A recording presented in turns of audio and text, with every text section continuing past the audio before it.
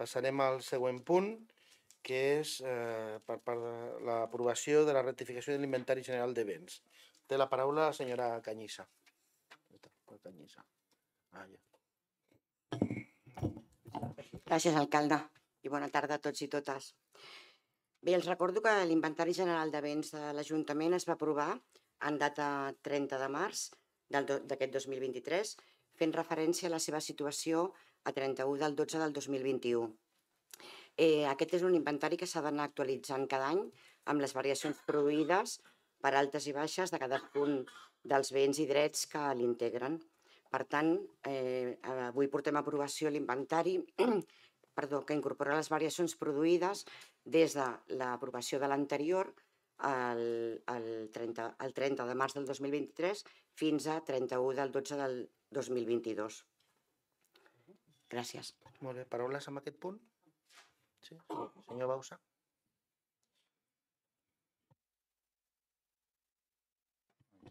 Gràcies, senyor alcalde. Uh, bé, nosaltres uh, en aquest punt ens abstindrem perquè, malgrat que hi ha qüestions que no suposen cap problema per nosaltres, com l'alta i baixa dels vehicles o els terrenys per fer habitatge do- dotacional, uh, no podem donar suport a un inventari que, que reflexa l'operació que es va aprovar al ple de març de l'any 2022 amb el nostre vot contrari que traspassava terrenys de l'Ajuntament Avimet del sector de Llevant.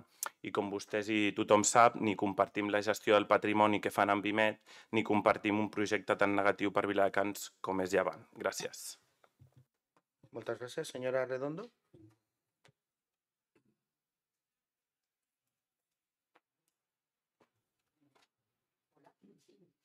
No se entiende.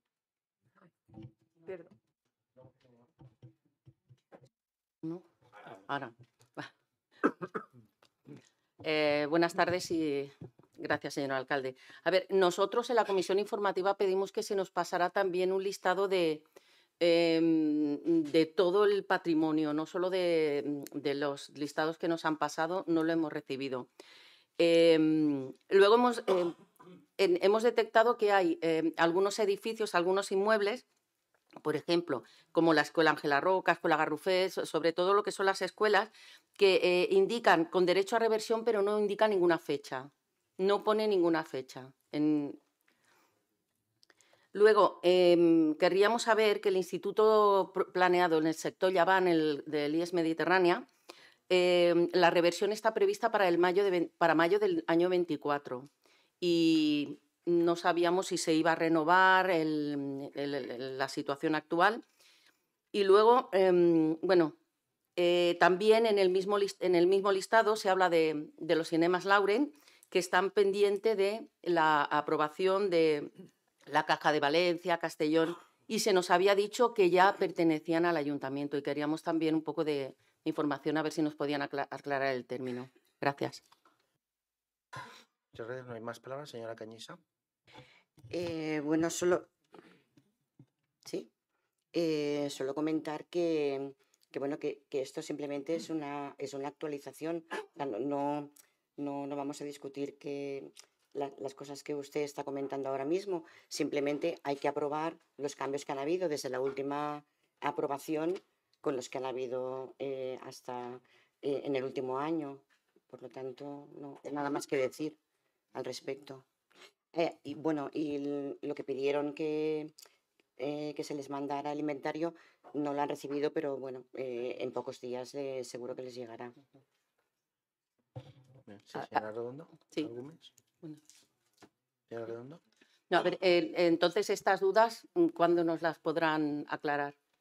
A ver, básicamente porque que hemo- hemos visto estos, estos, estos datos que estaban incompletos y queríamos saber si hay otro, hay otro foro para discutirlo o cómo, cómo lo hacemos. Sí, bueno, eh, tomamos nota y en todo caso nos ponemos en contacto y aclaramos cualquier duda que puedan tener. ¿De acuerdo? Bueno, moltes gràcies. Per tant, mm, vot, el vot d'Esquerra ja l'ha manifestat, de Partit Popular, Yo no lo había dicho, abstención. Abstención i Vox. Abstención. Molt bé, amb l'abstenció de Vox i del Partit Popular, el vot en contra d'Esquerra i l'aprovació... No, ah, abstenció, perdó. I l'abstenció també d'Esquerra, eh, quedaria aprovat el punt. Passem als punts que seran el, el 5 i el 6. Només hi ha votació del 6 per discutir conjuntament eh, que són donar compte dels informes de control financer i la segona, aprovar el pla de control financer. Per tant, té la paraula la senyora Sánchez. Moltes gràcies, senyor alcalde. Bona tarda, regidores, regidors. Sobre el punt de donar compte, només recordar el que la comissió informativa de presidència es va compartir com a punt i que vostès van poder fer preguntes al respecte. Per tant, donem compte en aquest ple dels dos informes de fiscalització corresponents a l'informe definitiu número d'informe 128 barra 2023 CF 29 barra 2023 del 2020 d'autoria pública corresponent a l'auditoria de regularitat, compliment i operativitat de l'activitat econòmica financera dels ens dependents de l'Ajuntament de Viladecans i també l'informe definitiu número 129 barra 2023 CF 30 barra 2023 del 2021 d'autoria pública corresponent també a l'auditoria de regularitat, compliment i operativitat de l'activitat econòmica financera dels ens dependents de l'Ajuntament de Viladecans amb dos informes realitzats per Faura Casas Auditors, consultors, que com ja coneixen està totalment a la seva disposició per la seva revisió pública i totalment transparent. També portem a ple, eh, com a segon punt, a instàncies de la intervenció municipal, l'aprovació del Pla Anual de Control Financer de l'Activitat Econòmica Financera de l'Ajuntament de Viladecans per l'exercici 2024 i previsió dels anys 2025 i 2026 ja, ja saben també vostès, el, els ens locals han de dur a terme a través de la intervenció general les funcions de control intern respecte a la seva gestió econòmica dels seus organismes autònoms i de les seves societats mercantils dependents. Aquest control abasta tres aspectes fonamentals, també com saben, que són la funció interventora, la funció de control financer i la funció de control d'eficàcia. El que fa referència a la funció interventora, aquesta funció es realitza d'acord amb el règim aprovat ja amb el ple municipal per la intervenció general en règim de fiscalització prèvia limitada acompanyada per una fiscalització posterior per tècniques d'auditoria pública. Per tal de complir amb aquesta funció interventora en el règim d'auditoria, la la intervenció municipal elabora anualment la seva proposta de control financer on es concreten els àmbits d'actuació prioritaris per cadascú dels anys. D'acord amb aquests criteris, la proposta que la intervenció municipal ha elaborat i que es presenta a l'aprovació d'aquest ple municipal és una proposta de control permanent diferenciant, en primer lloc, un control posterior d'ingressos sotmesos a presa de raó de comptabilitat i fiscalització prèvia limitada suggereix un control d'ingressos globals de l'exercici anterior, amb, fa especial incidència en la liquidació de tasses i preus públics, els tributs públics incorporats a padrons i altres ingressos, així com la conciliació comptable del programa de gestió d'ingressos en la comptabilitat municipal. En segon lloc, es proposa un control posterior de despeses sotmesos a fiscalització limitada prèvia en aquest control posterior fa aturada en les despeses de personal i nòmines, la contractació administrativa i patrimonial, els contractes menors i l'anàlisi de fraccionament en la contractació, a més de la tramitació de despeses de caixa fixa i de les despeses en manteniment de, a justificar, en manaments a justificar. I en tercer lloc, proposa un control permanent de l'activitat econòmic financera i pressupostària, controlant operacions pressupostàries i comptables que refereixen tant a la revisió de les despeses financeres, a l'amortització i operació d'endeutament i a la revisió de les fiances, avals i altres operacions extrapressupostàries en la comptabilitat. També així el control de l'execució pressupostària i financera eh, com, amb la comprovació material de la inversió i operacions patrimonials incorporades al balanç. I com a quart bloc, la, interven la intervenció proposa un control financer de subvencions i ajuts públics concedits i fa una distinció entre subvencions directes i de concurrència competitiva o no i altres aportacions també en aquest apartat un control financer sobre atorgaments d'ajuts socials i la seva justificació i regulació. I per últim, les auditories de sistemes de factures segons la llei 25 barra 20 del 2013 fins aquí. Moltes gràcies. Moltes gràcies. Paraules amb aquest punt, senyor Bausa. Senyor Bausa, endavant. Ah, perdó. Bé, gràcies, senyor alcalde. Nosaltres eh, votarem a favor del, del punt 6. Eh, creiem positiu que es facin aquests controls i seguiments a temes tan sensibles com els recursos econòmics de l'Ajuntament i que, per tant, no pugui haver-hi cap sospita sobre la, sobre la gestió. A més, també valorem positivament el, el fet que s'incloguin controls sobre temes específics com el servei de neteja viària i la recollida de residus, els fons europeus o sobre l'adequació i tramitació de les ordenances fiscals, perquè en els tres àmbits, en algun moment dels mandats, des del nostre grup sempre hem, hem, hem donat veu a alguna de manca de bona gestió, diguem-ne, pel fet de tramitar les, les ordenances fiscals o l'IBI, per exemple, eh, i per tant creiem positivament que això segurament ajudarà a millorar els serveis que presta l'Ajuntament. Tampoc eh, no volem deixar de dir, però, que aquests controls eh, i seguiments perquè es puguin dur a terme són necessaris mitjans, sobretot humans, i voldríem posar de manifest que ja en aquest 2022 i en els altres anys alguns d'aquests controls no, no s'han executat. I per tant eh, el que voldríem és demanar que posin tots els recursos i mitjans necessaris perquè es puguin dur a terme tots els controls que estan previstos. Uh, I concretament, si el Departament d'Intervenció ja ha detectat problemes de personal, doncs cal posar-hi remei. Uh, som conscients que al juliol va haver una modificació de llocs de treball per incorporar una persona a aquest departament, però que si no és suficient, doncs seguir ampliant la, la plantilla d'aquest departament. Gràcies. Vale, señora, uh, señor Moya. Gracias, señor alcalde. A ver, nosotros, eh, yo empezaré primero por eh, el dar cuenta. El dar cuenta eh, de las auditorías realizadas a, a la Fundación. Hemos visto que se produce año tras año las mismas conclusiones y las mismas recomendaciones y que nos, parece ser que no se enmiendan. si quieren las leo y si no, vamos a ver. En las conclusiones dice que el patronato de la Fundación debería aprobar sus precios de, de los eh, servicios que ofrece. Parece ser que no lo hace, pero esto no lo lleva haciendo, al menos que hayamos podido controlar, ni el 19, ni el 20, ni el 21. No sé si a partir de, del 21 eh, se ha solventado este problema o no. También dice que la Fundación dispone de un procedimiento escrito para la selección de personal basado en la recepción de currículums, una entrevista individual y si eh, es necesario la realización de una prueba escrita. En los casos que no se realiza la prueba escrita, el procedimiento de eh, selección de personal basado únicamente en la valoración del currículum no da cumplimiento a los principios de capacidad, de eh, mérito e igualdad que se han de regir la selección de personal. También, como hace otra recomendación, que es se ha de explicar la, constante, documentación de todas las actividades realizadas en los procesos de selección, etcétera, etcétera. Así hasta ocho recomendaciones que parece ser que eh, no se van corrigiendo y se producen cada año. ¿no? Y al final termina, eh, las auditorías estas terminan recomendando establecer una política de reconocimiento del registro de correcciones valoradas para el, el deterioro de los saldos deudores de conformidad con el marco normativo de aplicación, realizar un inventario físico de los bienes actualizados de forma anual, dejando de evidencia escrita. Parece que todo esto pues, es eh, de debido cumplimiento, pero no se, está, o, no se, o no se hizo hasta el año 21 al menos. No sé si a partir de, ese año se han corregido las, estas deficiencias.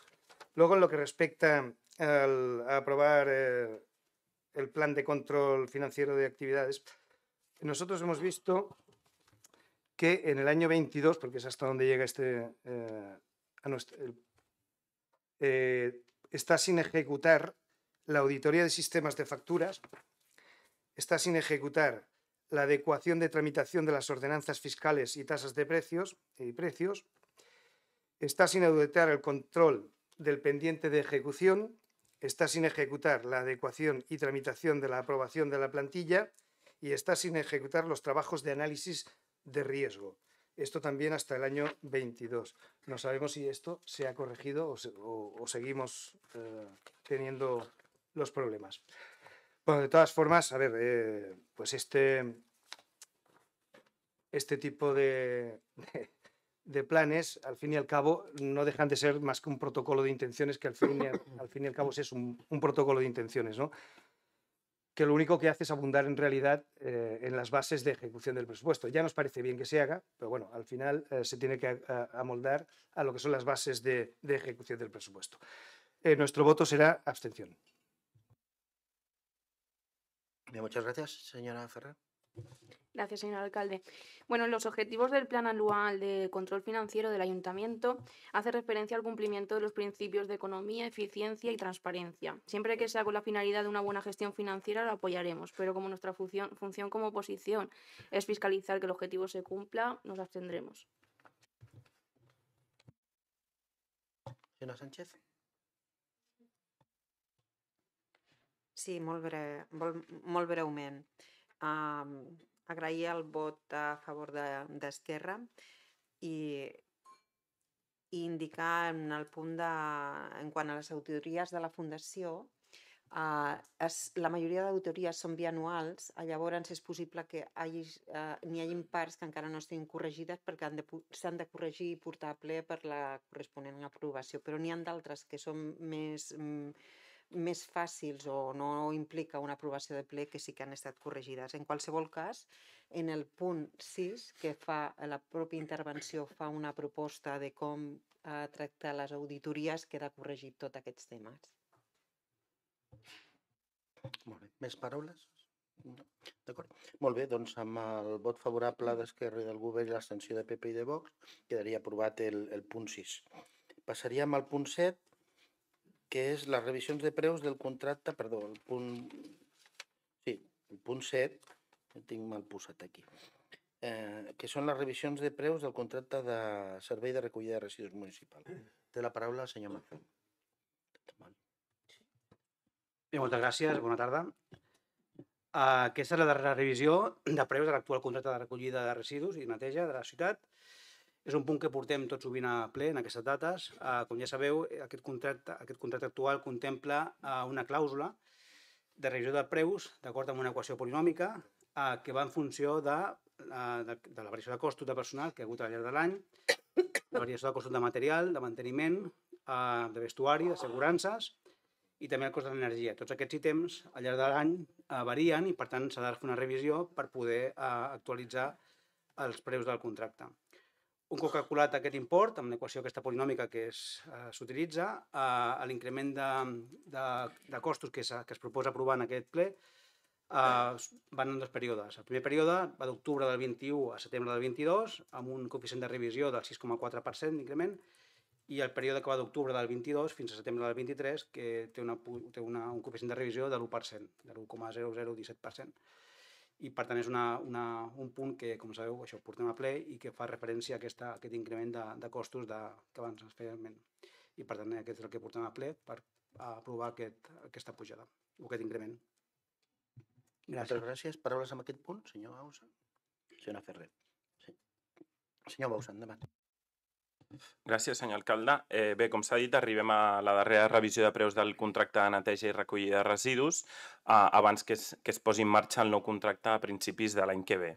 Uh, aquesta ja els hi avanço que tampoc comptarà amb el nostre suport, perquè estem parlant d'un contracte que en, en molts casos no s'ha complert i darrerament ho hem vist i comprovat amb les dades que el mateix govern ens ha facilitat, com per exemple amb la neteja dels contenidors durant l'estiu. Um, ens van anunciar que havien obert un expedient sancionador a, a l'empresa, uh, però no tenim cap altra notícia i no sabem finalment com ha acabat i si s'ha multat o no a l'empresa que portava aquest contracte. Uh, I per tant el que volem destacar és que esperem que amb el nou contracte aquests incompliments no es produeixin perquè no ens, um, els hi vam donar un vot de confiança perquè incorporava moltes reivindicacions que des del nostre grup uh, havíem reclamat durant molts anys i per tant nosaltres estarem vigilants del seu compliment de manera íntegra i, i serem contundents si comencem a veure que allò que està escrit no s'està produint. Gràcies. Gràcies, senyora Ferrer. Gracias, señor alcalde. Esta revisión de precios del contrato según las condiciones contractuales en el periodo octubre 2022 a octubre 2023 entemo- entendemos que es en base a las variaciones de los indicadores de la fórmula de revisión de precios, pero en base al descontento con el anterior contrato tenemos que votar en contra. Senyor Mazón. Bé, només un, aclarar un punt. O sigui, el, el que aquí aprovem és aprovar la revisió de preus que fa referència a la variació de l'energia, del vestuari, de personal, dels costos de personal, etc.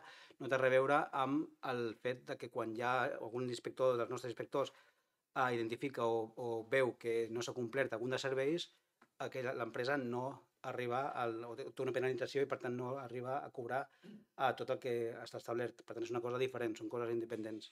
Només això, només aquest punt, aclarar aquest punt. Vol... no? Molt bé. Doncs, mm, falta la posició de vot del PP? Nos abstendremos en este punto. Molt bé. Doncs el vot contrari d'Esquerra i de Vox i l'abstenció del PP i el vot favorable del govern s'aprova també el punt. Passaríem al punt 8, que és autoritzar la Societat Privada Viladecans Mediterrània a concertar una operació de préstec hipotecari. Té la paraula el senyor Calle. Sí, bona tarda a tothom. Bé, com sabeu, el, el passat eh, 5 de desembre, eh, l'empresa municipal Vilacans Mediterrània va demanar l'autorització a l'Ajuntament per tal de concertar l'operació de, de préstec hipotecari financer a, a llarg termini per, per eh, la construcció d'aquest nou edifici que ja hem parlat en diverses ocasions de, de l'IA del Parc de Negocis de, de Viladecans. Aquesta operació, que com dic ja va ser explicada i, i votada també en el ple d'octubre, amb aquesta aprovació de l'ampliació de capital, um, un cop realitzades aquestes um, consultes al mercat, l'empresa uh, municipal va considerar o ha considerat que la millor proposta uh, és la presentada per, per l'Institut Català de, de Finances amb unes uh, condicions doncs, uh, força, força favorables en, en quant doncs, a interessos, a comissions, a garanties i, i a desemborsaments i també eh, en quant a tenim eh, a nivell de condicions eh, financeres, nivell de deute, consolidat i capacitat devolució de préstec, tenim també el, ens consta l'informe favorable de, de la intervenció municipal i en aquest sentit doncs, el que faríem seria autoritzar a l'empresa eh, Bimet per concertar aquesta eh, operació de préstec hipotecari per part de l'Institut Català de, de Finances. Paraules amb aquest punt? Senyor Gausa, senyor Ferrer, senyor Moya. Senyor Gausa? Bé, gràcies, senyor alcalde. Bé, com, doncs, com ha explicat el senyor Calle, no, a, a, debatem autoritzar a Bimet aquest préstec a, per la construcció de l'edifici destinat a oficines i com tampoc és nou aquest punt, ja saben que la nostra posició és contrària a construir a, aquest a, edifici quan no està clar el retorn que tindrà cap a la ciutadania. Ni retorn econòmic ni retorn social. Um, I és més, el nostre grup plante eh, ens plantejàvem la següent reflexió. Per què un edifici destinat a oficines on hi aniran a empreses que no són de Viladecans, que són empreses externes, l'ha de pagar l'Ajuntament? Um, és un fet que mostra molt bé el seu model de ciutat i les, i les seves prioritats. Abans un edifici per a oficines, que seguir constru que construir la segona biblioteca, a fer una pista d'atletisme o, o pisos de, destinats a, a habitatge dotacional. Um, un cost que arriba als gairebé 20 milions d'euros no? i que es divideix en, en tres vies de finançament. Diners que aporta la Bimet, uh, una aportació que fa l'Ajuntament de gairebé 7 milions d'euros i, i aquest préstec. No? Um, el nostre grup hem estat uh, molt contundents uh, respecte a la segona via que explicava, que era els 7 milions d'euros que aportarà l'Ajuntament a, a Bimet. No? Uh, I quan deia que no hi ha cap retorn uh, econòmic és que encara no sabem, i tampoc ha quedat clar avui, com Bimet retornarà aquests 7 milions d'euros a, a l'Ajuntament i, i pel que fa al retorn, diguem-ne, més social, um, no sabem tampoc si aquesta empresa farà contractació de gent de Viladecans o no uh, i tampoc veiem que vostès estiguin fent un seguiment amb aquesta empresa perquè si en el cas que hagin de contractar gent pues, uh, aprofitin la, el talent que tenim a Viladecans i la gent experta que tenim a Viladecans per, per conformar la, la plantilla d'aquesta empresa.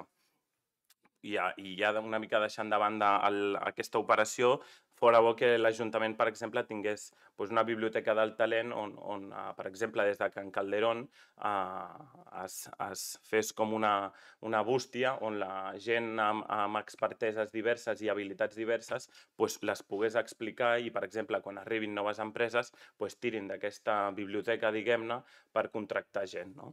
Uh, i no volem deixar dir que és evident que les condicions d'aquest préstec són, són favorables uh, i, i per això voldríem posar en valor l'Institut Català de Finances i la voluntat del Govern de Catalunya per convertir-lo en una banca pública.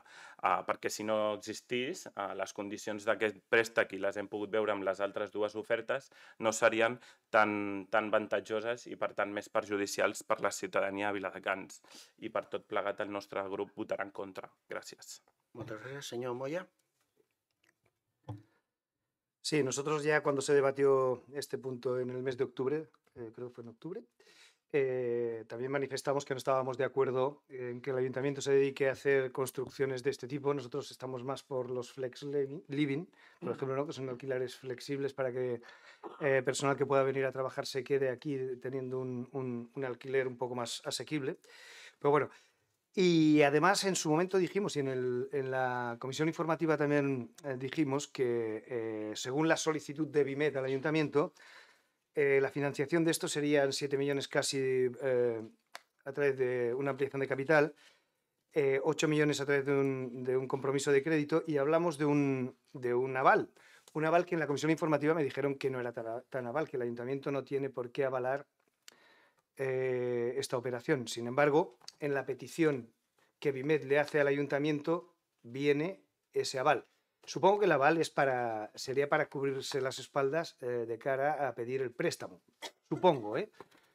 Pero me dijeron por activa y por pasiva que ese aval no se tenía que producir, que no se iba a producir y que no existía. Yo me gustaría que, nos lo explicaran, por favor, qué es lo que ocurre con ese aval, que está aquí. ¿eh? Es un documento escrito de BIMED. Si quieres, eh, Joana, yo te lo paso para que lo veas. Eh, Supongo que es para, para eso, para, para avalar el propio préstamo, ¿no? Pero en caso de necesidad. Pero bueno, que está, ese, ese, ese nombramiento o esa apelación al aval existe. Nuestro voto será en contra, sobre todo por eso, porque no estamos de acuerdo con que un ayuntamiento se dedique a, a hacer eh, un edificio de oficinas para alquilarlo. Muchas gracias, eh, señora Ferrer. David Pons? Gracias. Bueno, a nosotros nos parecen unas condiciones financieras favorables, pero siendo coherentes con el resto de recursos pa- para financiar esta inversión aprobada en la modificación de crédito 15 barra 2023 para la ampliación de capital, nos abstendremos. Bé, Senyor Calle. Sí, eh, a veure, um, senyor Bausa, eh, evidentment que vosaltres el vostre model no és, no és aquest, tampoc és el de construir equipaments esportius en unes altres ocasions. Per nosaltres està clar, o sigui, aquest, això és patrimoni de l'Ajuntament, és patrimoni de la ciutat. Això es queda per la ciutat, per la joventut, per la gent eh, adulta que vol treballar. Són quasi 500 eh, llocs de feina que oferirem a la ciutadania. És un lloc de, de nova creació, per tant, s'està treballant, sí que s'està treballant amb l'empresa que, que vindrà per poder oferir i que sigui gent de Viladecans la que faci i la que ocupi aquests eh, llocs de feina. Lògicament, després pues, eh, passarà el que passarà, no? però la, la intenció és aquesta i s'està treballant des de, des de Can Calderón per poder oferir aquests llocs de, de feina a la ciutadania de Viladecans. És el nostre esperit i és la nostra intenció de, de fer, perquè a més és el que us, eh, us dic, eh? és, són llocs de nova creació, no és una, una, una empresa que vingui d'un altre lloc cap aquí, sinó que és una, eh, una, un inici d'una empresa que, que, que s'instal·la aquí.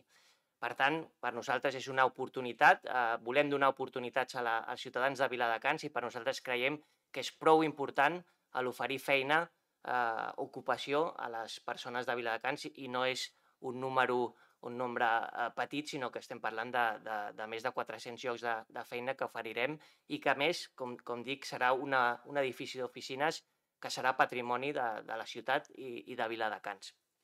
Per tant, per nosaltres el retorn és, és molt clar i, i evident eh, eh, en aquest sentit.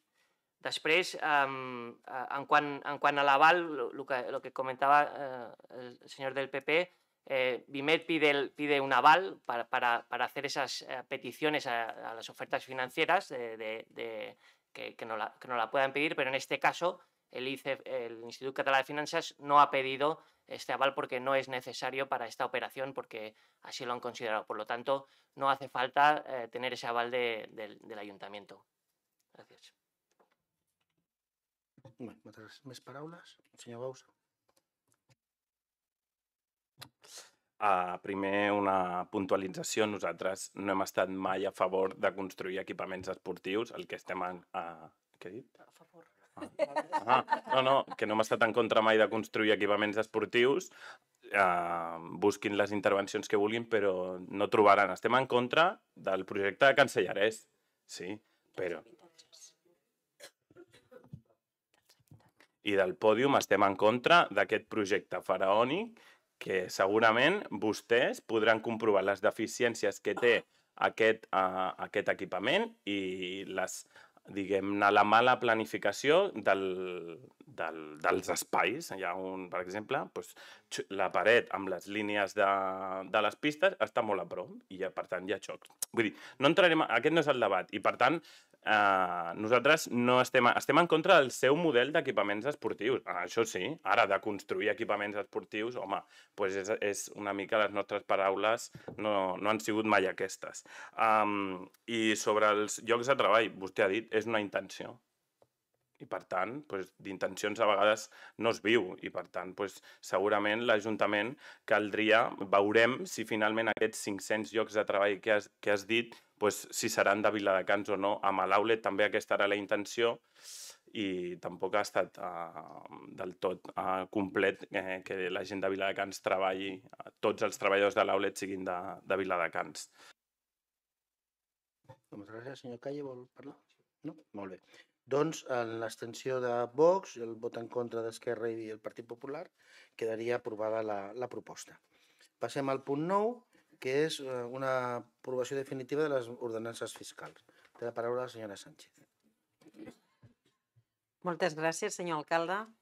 Com saben vostès, en data 11 d'octubre d'aquest any, en aquest ple municipal es varen aprovar provisionalment les modificacions de les ordenances fiscals per l'exercici 2024. Els recordo que els objectius que es varen fixar van ser assolir suficiència financera de les nostres finances amb increments puntuals en alguns dels nostres tributs, la necessitat de recuperar el diferencial entre l'increment de l'IPC i l'evolució del nostre principal tribut, que és l'IBI, i seguir prestant i millorant uns serveis de qualitat, per això la posada en marxa dels nous contractes de recollida i neteja mantenim, i manteniment de la nostra ciutat.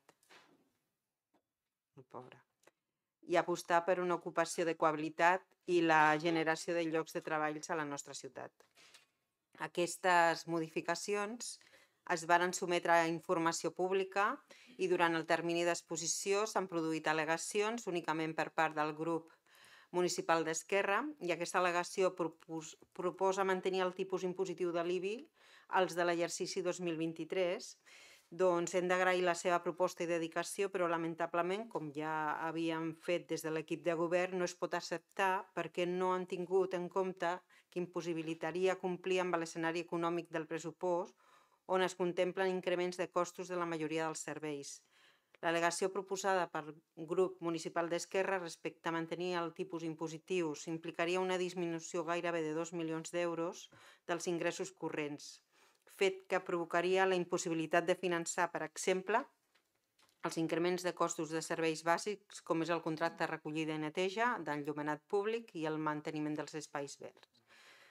Es proposa, per tant, aprovar definitivament la modificació de les ordenances fiscals per a l'exercici 2024. Moltes gràcies. Paraules? Senyor Bau. Bé, gràcies, senyor alcalde. Uh, en primer lloc, voldria fer notar que el nostre grup, com ja acostumava a passar el mandat passat, uh, és l'únic que fa al·legacions als projectes de l'equip de govern i que aprofita sempre qualsevol eina per contraposar projectes i idees i aquest cop, i sent un tema tan important, no podia ser d'una altra manera.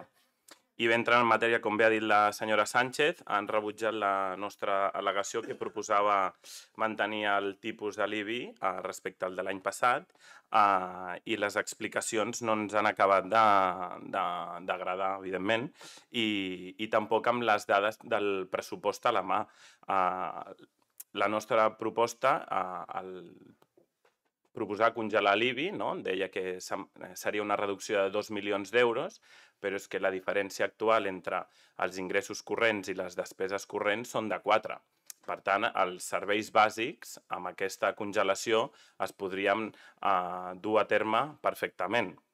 Um, I, per tant, uh, la nostra al·legació en aquest sentit per finançar els serveis bàsics uh, és perfectament compatible amb, amb, amb la realitat econòmica de l'Ajuntament.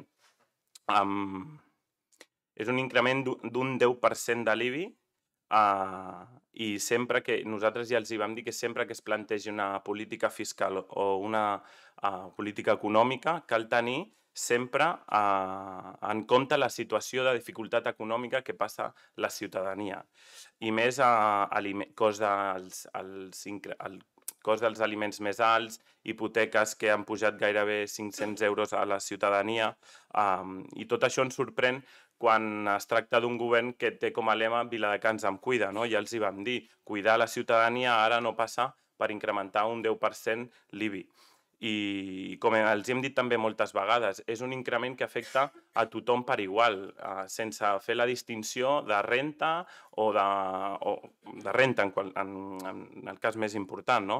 I per tant, eh, creiem que era un moment d'ajudar la ciutadania, de tenir-la en compte i la seva situació i per això vam proposar el, des del nostre grup congelar l'IBI.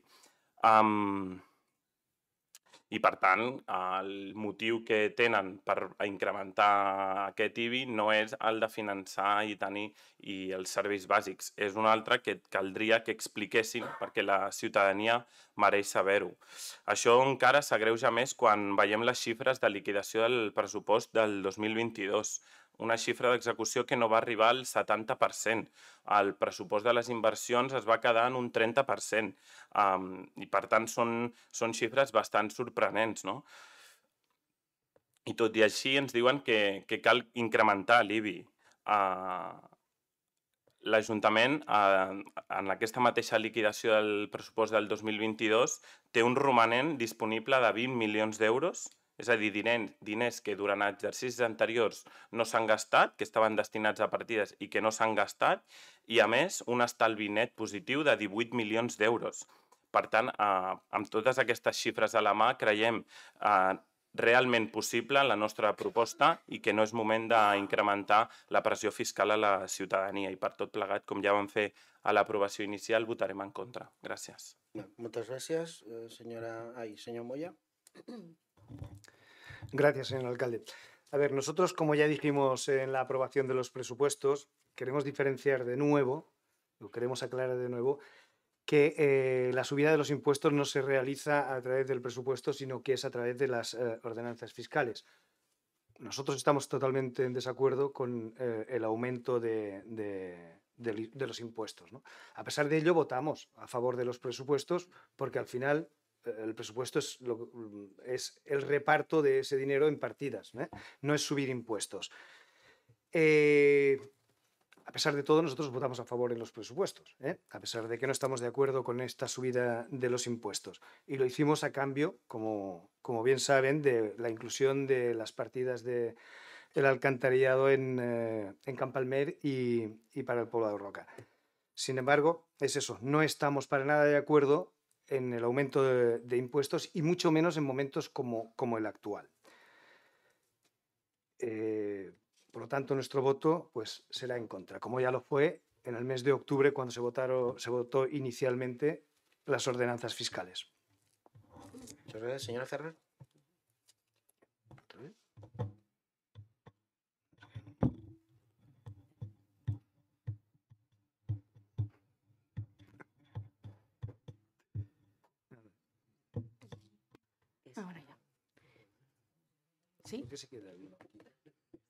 ¿Sí?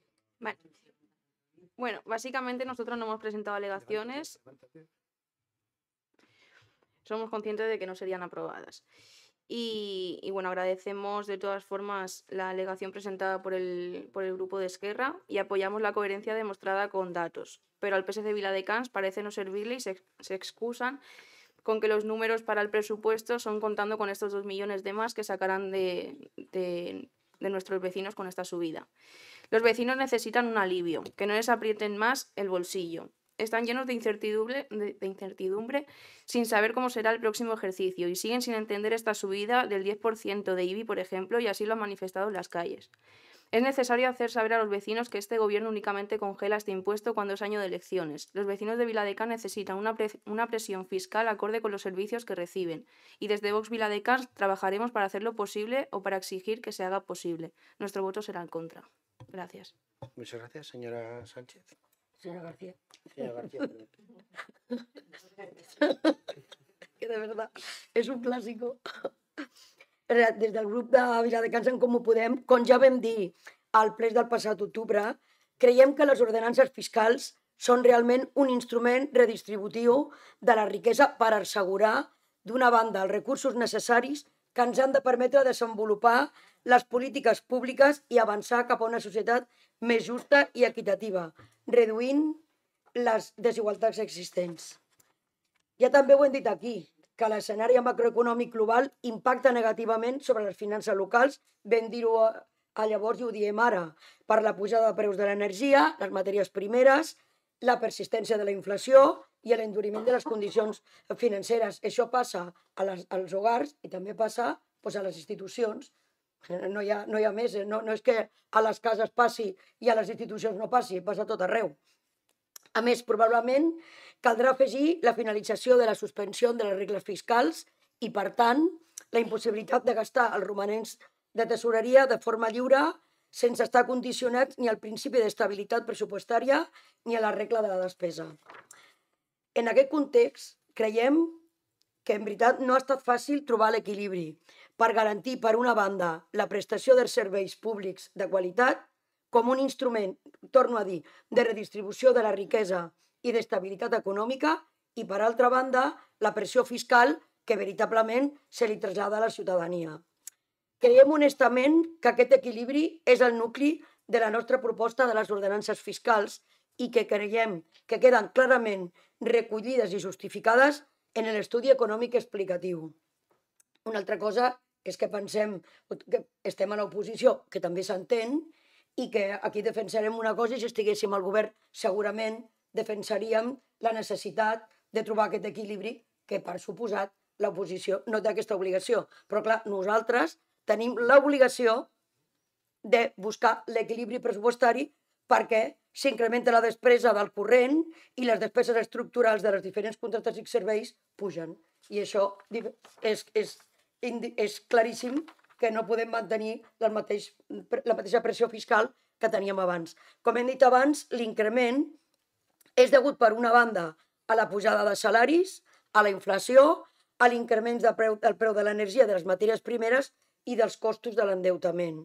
Creiem que la proposta que avui portem al ple municipal, en veritat és una, és una proposta ajustada a les necessitats del municipi i que, per suposat, implica la col·laboració i la cooperació de tothom, de manera solidària i progressiva, que és el que ens permetrà oferir uns serveis públics de qualitat, sous dignes i justos pels treballadors i treballadores i avançar en la, millor, en la millora de la ciutat. I també dir que l'IBI, torno a dir-ho, com també vaig dir-ho l'altra vegada, és un impost a la propietat. Gràcies. Moltes gràcies, senyora Sánchez. Gràcies.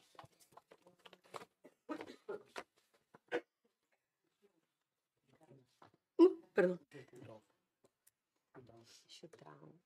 Gràcies. Uh, quan tornen a acusar-nos de tenir romanents de tresoreria, els hem de tornar a recordar que els romanents de tresoreria expressen la liquidesa de les nostres finances i que aquest romanent es dona com a resultat de la bona gestió dels ingressos i la gestió acurada de les despeses. Hem de recordar que institucions com la Diputació de Barcelona recomanen un índex de romanent proper al 15% dels ingressos corrents i és el nostre cas, estem en aquesta línia.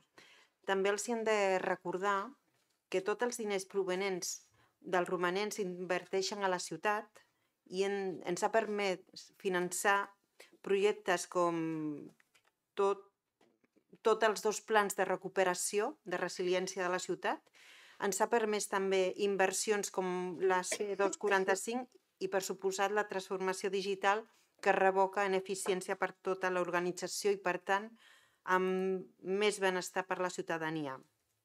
També els voldria recordar que la nostra pressió fiscal sempre ha estat molt per sota, molt per sota de l'IPC, que eh, durant tota la legislatura s'han congelat pràcticament tots els tributs, llevat d'una actualització de l'IBI molt per sota de la inflació i que hem introduït en cada tribut les màximes bonificacions que ens han estat permeses per incidir en aquelles polítiques com la transició energètica o, per suposat, l'atenció al més desfavorits. També els hi vull tornar a recordar com a, com a bàsics tècnics que les variables del romanent de tresoreria i d'estalvi net, del que parla especialment Esquerra, són indicadors de solvència financera resultants de la liquidació del pressupost i no del pressupost inicial.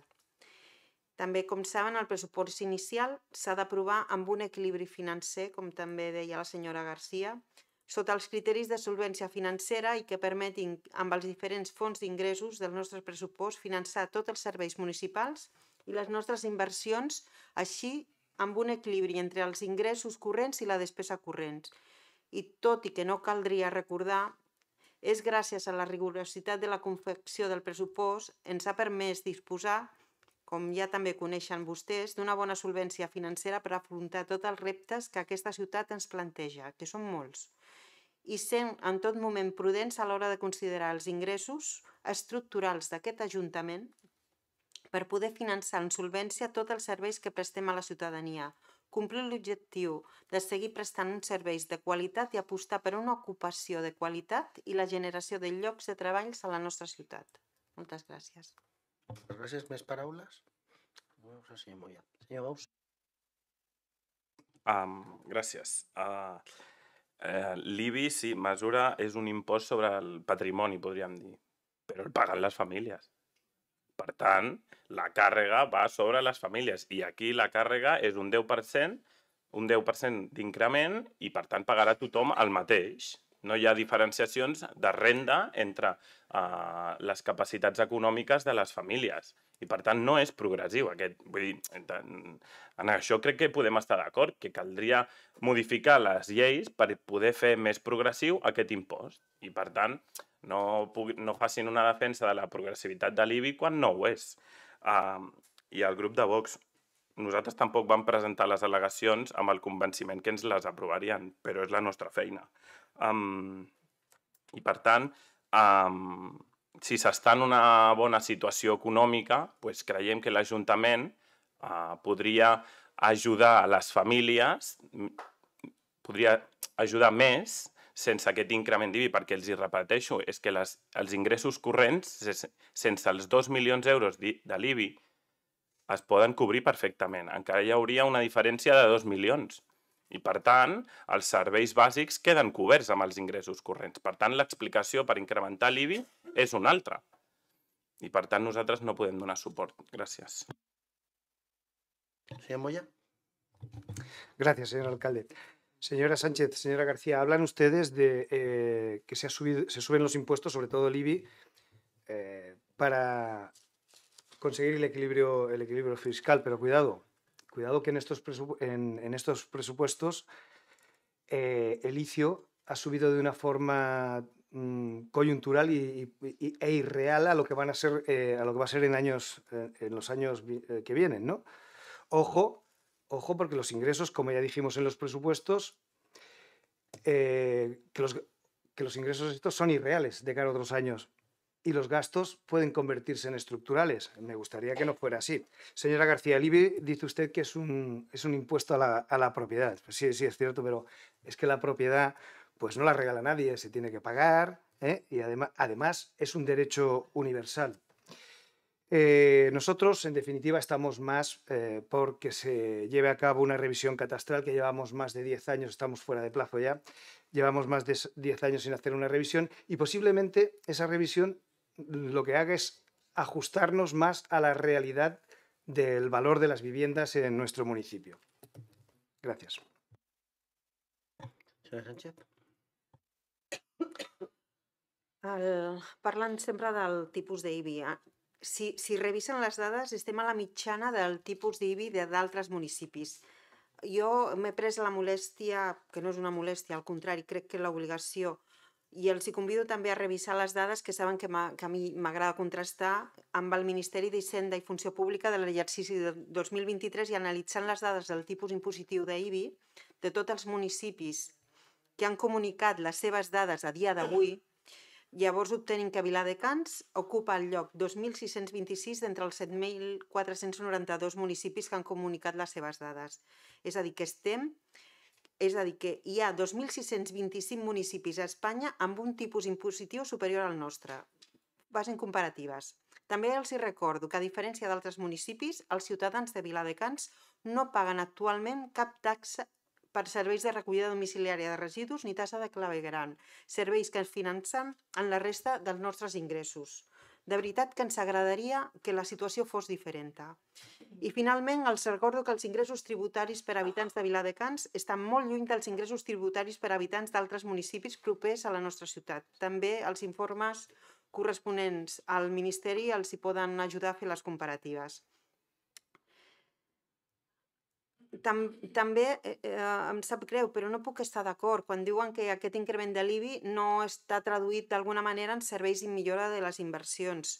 Jo els hi recordo que ja vàrem explicar al ple de pressupostos, que en feia eh, referència el senyor Moya, que el pressupost municipal passa de 74,8 milions a 83,9, amb un increment d'aquests 9 milions per finançar l'increment de serveis tan bàsics, importants com el nou contracte de recollida i neteja, l'enllumenat públic, la renaturalització, la seguretat, la protecció al medi ambient i els serveis socials. Ningú enrere. I els hi recordo també que les inversions s'han incrementat en més de 1,6 milions d'euros en projectes tan importants com la rehabilitació de la Rambla, les pistes esportives de Can Sellarès o l'Escola Oficial d'Idiomes. Continuarem amb aquesta millora contínua, tant l'equip de govern com també l'equip de l'Ajuntament, tot l'equip tècnic, malgrat que no vulguin veure l'evidència de com Viladecans està en un procés de millora global i contínua que suma al benestar dels seus ciutadans i ciutadanes, la realitat de vegades és tossuda.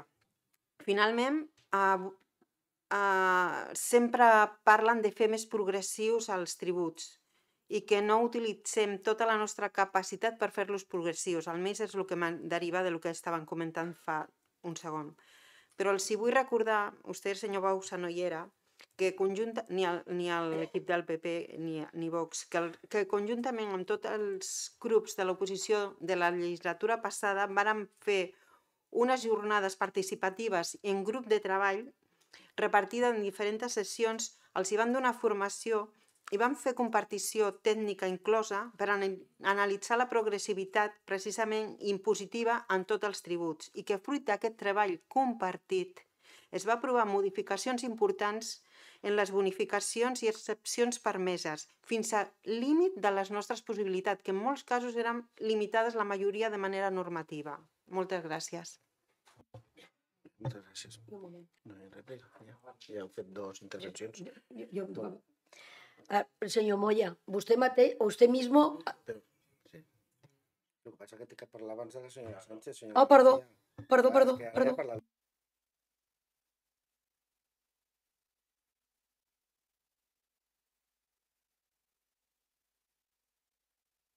Amb el vot contrari dels grups de la posició i favorable del govern, queda aprovat el, el punt. Passaríem al següent punt de l'àrea de planificació, que és la tercera pròrroga de l'adenda del conveni del Consorci Urbanístic de Can Alemany. Té la paraula el senyor Calle.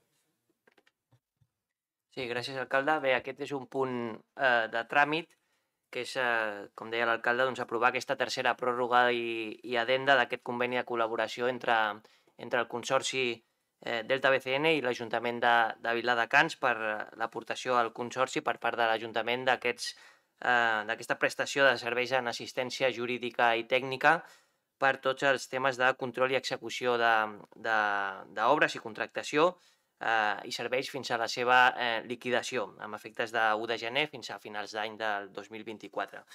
Eh, el cost d'aquesta referida prestació és d'un total de 52.000 euros 723 52.723 euros i eh, la qual doncs, eh, tindrà una na- naturalesa reintegrable quan eh, s'acabi o es tanqui eh, l'exercici. Res més. Paraules amb aquest punt? Senyora Moisset, senyora Redondo. Senyora Moisset, endavant. Gràcies, senyor alcalde.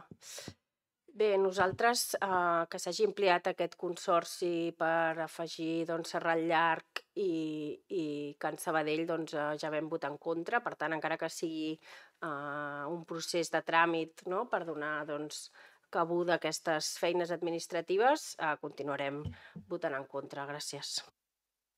Senyora Redondo. Eh, gracias, señor alcalde. A ver, nosotros ya en la comisión informativa comentamos que se nos eh, advirtió que en este consorcio el único sector que, eh, que entraba era Can Alemany. Aunque se siga llamando Serrat Llarg y Can Sabadell, solo, aquí solo se está hablando de Can Alemany. Y pedimos que por favor que se hiciera mm, especial mención porque eh, se nos comentó que el consor- consorci de Tabesaena lo que incluía era solo el sector de Can Alemany. Y yo creo que eh, eh, constatar, mm, ah, bueno, hacer referencia constantemente a, los, a los tres sectores, pues puede crear confusión. Pedimos que por favor que si, que si era muy difícil, porque por, por lo visto era muy difícil cambiar el nombre del consorcio, que cuando se hiciera referencia en los informes, que se dijera que solo se estaba hablando del sector de Can Alemany. Y luego quería comentar una cosa. En el dictamen de propuesta em, eh, de la comissió informativa se dice que el resultat de la votació eh, eh, ha estat per unanimitat. Però dice i proposa al ple l'adopció dels següents acords. Creo, creo que como lo que se vota en la comisión informativa es llevar el punto al Pleno, lo que se tendría que poner es que se someta al criterio del Pleno los siguientes acuerdos, porque es que si no, parece que es que mm, toda la comisión informativa está votando a favor de que se, de que se acuerde la- las propuestas. No sé si me he explicado con claridad. Vale, pues eso. Y, em, bueno, eh, comentar eso que se comentó ya en la comisión, que por favor, cuando se hace referencia a un solo sector, que se incluya, si es muy difícil cambiar el título, pues vale, pero que se haga constar que solo se hace referencia al sector de Can Alemany. Gracias. Moltes gràcies, senyor Calle. Sí, bueno, eh, señora Redondo, lo que le comentamos, o al final esto es una, eh, este convenio está en fase de liquidación, o sea, estamos ya liquidando y para cambiar el, nombre, pues hay que cambiar estatutos, hay que, bueno, es, es un trámite que va, que va, eh, que no es, no es, no es corto, o sea, cuando, cuando lo consiguiéramos, pues ya estaría liquidado este, este convenio y sí es verdad que, que hasta la fecha, pues se ha hecho solo de, de la zona de Can o sea, no, no es, pero, eh, pues bueno, cambiar en fase de liquidación, pues eh, no es, es costoso a nivel de tiempo y de, y de tramitación, simplemente por eso. La posició de voto? Sí, senyora Redondo. Mm, A ver, si yo no digo que se cambie el nombre del consorcio, no, ya sé que es muy difícil, que, pero que cuando se haga referencia, que se explicite. Es decir, mm, Canana, pero que solo se hace referencia al sector de Can Alemany. No cambiar el, el título del, del- consorcio, no. Vale, si es muy difícil, pero como mínimo indicarlo en los documentos donde se esté hablando del tema. Gracias. Moltes gràcies i sobre allò de l'acte bueno, consultarem amb secretaria i el que, el que es digui. Eh? Ho mirem a veure com, com es pot quedar reflectit millor. Molt bé. La posició de vot Abstención. i Vox? Abstenció també. Molt bé, doncs amb el vot contrari d'Esquerra i l'abstenció de PP i Vox i el vot favorable del govern quedaria aprovat també aquest, aquest punt. Passaríem al punts de control, control i fiscalització. Hi ha una moció del grup municipal del PP. Eh, té la paraula... Molt bé, senyor Hernández. Gracias, señor alcalde. Bien, eh, traemos aquí una moción eh, en favor de, de las pistas de petanca de Campastera. Viladecans es un municipio referente en el mundo de la petanca a nivel de Cataluña y en nuestra población practican el deporte de la petanca más de un millar de personas. El club de referencia es el Club de Petanca Viladecans, que cuenta con 55 licencias federadas y en sus instalaciones de Campastera practican la petanca algo más de 150 personas. El Club Petanca Viladecans tiene en este momento compitiendo dos equipos masculinos y uno femenino. Las personas que practican este deporte, hay días que por las inclemencias del tiempo no pueden practicar su deporte ni entrenar en las competiciones en las que, en las que participan. El Club de Petanca Viladecans ha ganado, tanto individualmente como por equipos, diversos títulos comarcales, provinciales y autonómicos. La petanca es un deporte que arrastra en Cataluña a decenas de miles de personas y hay otorgadas más de 8.000 licencias federativas. Pero tan solo una población rubí cuenta con unas instalaciones acondicionadas para acoger un campeonato de Cataluña o de España. Y eso es consecuencia de ser la única que cuenta con una pista cubierta. Una remodelación de las pistas de petanca de Campastera para hacer una pista cubierta facilitaría reunir las condiciones para albergar campeonatos de España y de Cataluña. Y su construcción no supone una gran inversión. El contar con una pista cubierta supone como mínimo un campeonato de Cataluña cada dos años y uno de España cada tres o cuatro años. La ciudad que alberga dichos campeonatos acoge gran cantidad de personas durante varios días que comen, duermen y salen de asueto por la población donde se celebra el evento. Es por ello que consideramos que la pista cubierta, además de dar servicio a los ciudadanos de Viladecans que practican este deporte, puede servir para que nuestra ciudad sea de nuevo un referente en otro ámbito más y proporcionará un retorno a las arcas municipales y al, con- y al comercio local. Según el artículo 1.1 de la Ordenanza Reguladora del Uso de las Instalaciones Deportivas Municipales de Viladecans, el objeto primordial de esta ordenanza es establecer las normas generales de acceso y uso a las instalaciones deportivas municipales de forma que Esa- todas las perdón, personas... esa es la siguiente moción, ¿no? Perdón. La de No. las ordenanzas. No. Son los fundamentos No, fu- son Ah, vale, fundamentos, fundamentos jurídicos, jurídicos. Son Vale, fundamentos vale, jurídicos en los que, se, en los que nos estamos basando. Vale. Bien. Eh, continúo. Eh, no-. Vale, me salto los fundamentos jurídicos. Vamos, nos vamos directamente a la propuesta. Eh, primero, proponemos eh, la construcción de una pista cubierta para la práctica del deporte de la petanca en las instalaciones de Campastera. Y en segundo lugar, dar traslado de esos acuerdos a los representantes de las diferentes entidades deportivas de Viladecans y en especial al Club de Petanca de Viladecans. Gracias. Muchas gracias. Paraules amb aquest punt. Senyor Riera. Senyor Delgado. Senyor Riera. Gràcies, senyor alcalde. Al grup d'Esquerra ens sembla interessant la proposta que fa el grup del Partit Popular de cobrir una pista de petanca a Camp Estera per la- per l'aportació que això pot comportar pel benestar dels que practiquen aquest esport i també pel, pel potencial i salt qualitatiu que pot tenir per l'esport de petanca a la ciutat. Creiem que és important tenir en compte esports no majoritaris eh, a l'hora de fer inversions, no tot és futbol, bàsquet o pavellons, L'únic, però, que ens genera és que aquesta inversió s'ha de considerar no aïllada, sinó en el marc del conjunt d'inversions que l'Ajuntament fa en instal·lacions per a la pràctica esportiva. I ha de tenir la prioritat que li correspongui una vegada analitzades totes les, totes les necessitats que, que tenim ara. I amb debat i consens, si és possible, amb les entitats i clubs esportius. Però com que el text de la moció és prou ampli i no hi ha cap calendari marcat, doncs ens sembla, eh, ens sembla favorable en aquest, en aquest sentit. I finalment volem remarcar que si aquesta instal·lació va endavant és molt important que el Club Petanca eh, de Viladecans participi en el disseny del projecte i no ens passi com, eh, per exemple, en el pòdium, on, per exemple, per fer-ho sense preguntar, tenim una piscina que per uns pocs metres no, és, eh, no té la llargada de competició i segur que si s'hagués- preguntat al Club Natació en el seu moment, doncs això no hagués passat tenint el vestíbul que té la, la instal·lació.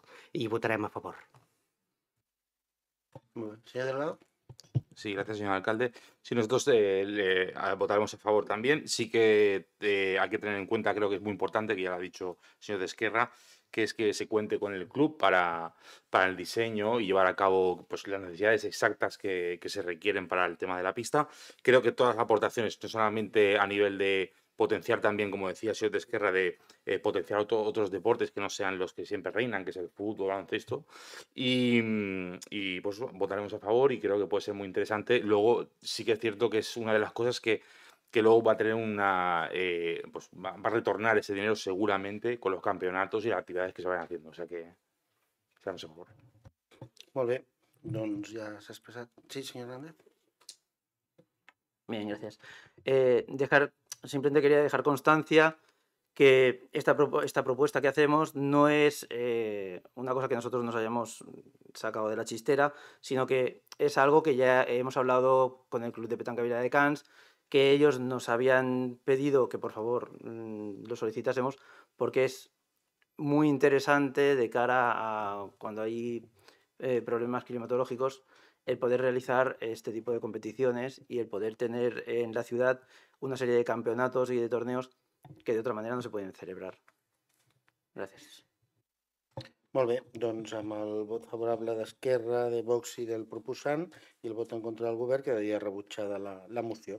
Passem al següent punt, que és una moció també del grup popular per crear un patronat municipal de l'esport. Té la paraula el senyor Hernández també? Ah, senyora Redondo. Gracias. Em, Viladecans es un municipio con una población cercana a 70.000 habitantes y que experimentará un importante crecimiento en los próximos años. Nuestro municipio cuenta con una población que es bastante activa en la práctica del deporte y, consecuentemente, cuenta con una cifra importante de entidades deportivas, 47, entre agrupaciones, clubes y asociaciones. Debido al crecimiento exponencial de personas practicantes de deporte y de entidades deportivas, se hace necesaria la ampliación de las infraestructuras deportivas. Consecuencia de lo anterior, se hace necesaria una reestructuración en la gestión de los equipamientos y de coordinación con las entidades, donde se implique de forma efectiva a todos los actores del mundo del deporte en Viladecans.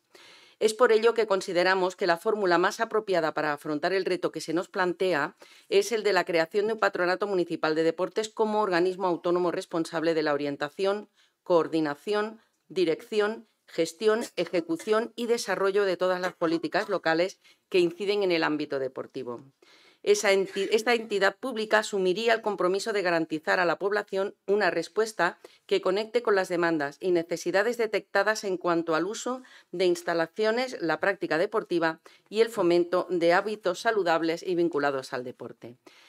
El Patronato Municipal de Deportes debería ser una institución municipal que se estructure como fundación pública de servicios al amparo del artículo 85.c de Reglamento de Servicios de las Corporaciones Locales, en su revisión vigente del 2 de octubre de 2016, teniendo personalidad jurídica y patrimonio propio.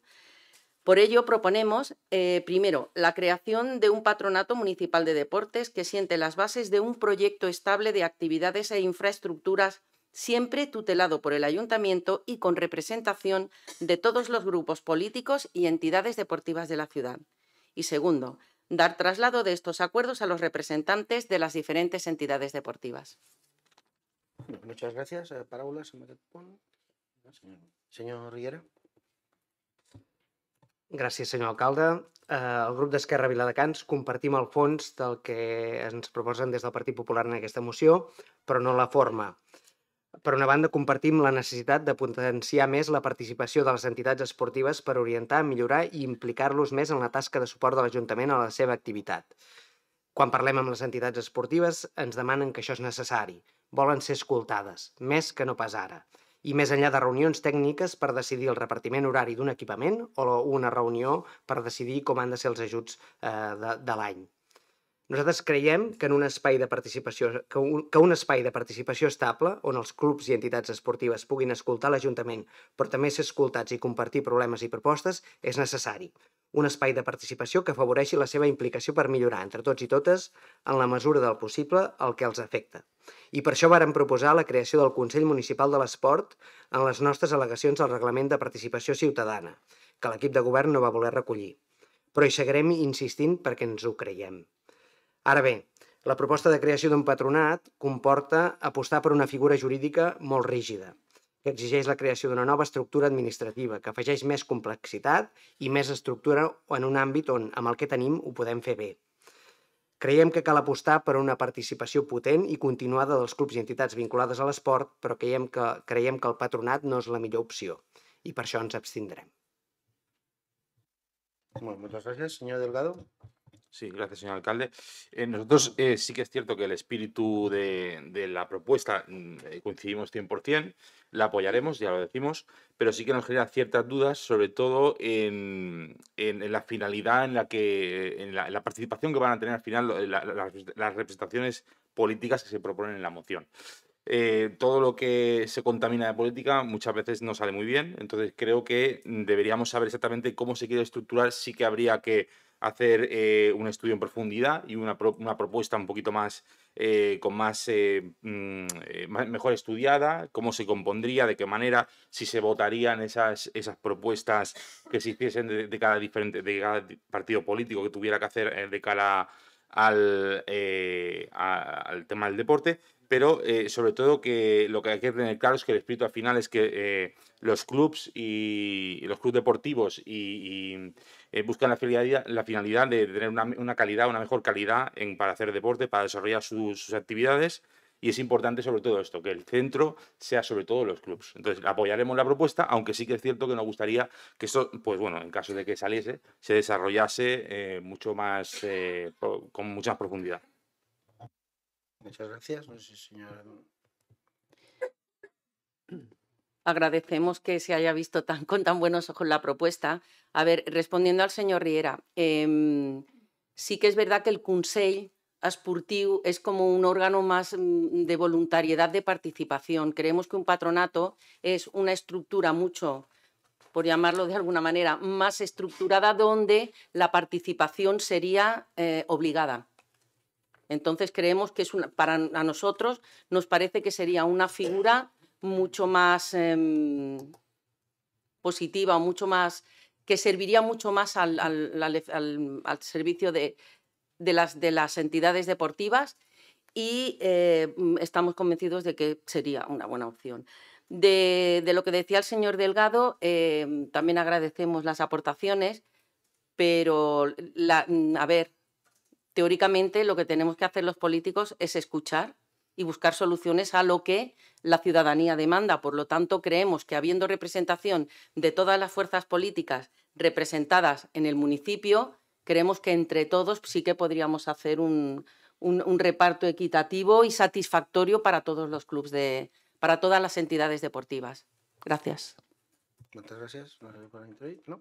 Molt bé, doncs amb el vot, el favorable de PP i Vox, el vot contrari del govern, queda rebutjada la proposta i passaríem al punt 13, que és la moció del grup municipal de Vox, en aquest cas sobre l'actualització de l'ordenança de l'ús d'instal·lacions esportives. Té la paraula mm, la se- senyora Ferrer. Gracias, señor alcalde. El motivo de esta moción para la actualización o rectificación de la ordenanza del uso de instalaciones deportivas municipales es claro, al igual que lo es el descontento de varios clubes deportivos de Viladecans en cuanto a espacio y horarios asignados. Las quejas llegan a este ayuntamiento cuando quieren recogerlas y la explicación o en el punto en el que se excusan es el mismo que hoy traemos a pleno para su rectificación. Estos equipos o bien se tienen que ir fuera de Viladecans para entrenar pagando un, al- un alquiler o bien tienen que alquilar en Viladecans un espacio privado pa- para desarrollar su actividad. Actualmente ceden los espacios a aquellos equipos que cumplen con la ordenanza donde se establece que más del 80% del club sea entre 5 y 17 años. Si no, se ve como ocio. Caemos en el absurdo de que cuando un adolescente cumple la mayoría de edad, después de toda la vida practicando deporte, se le cierran las puertas para seguir disfrutando de algo tan saludable como es el deporte. Ahora bien, esta ordenanza, como bien sabemos, solo están obligados a cumplirlos algunos clubs y prefieren darle espacios a aquellos clubs que, que según la señora García, y cito textualmente, mueve mucha cantidad de masa y no podemos comparar un equipo grande a uno pequeño. Y también hay equipos que no son de Viladecans para poder entrenar.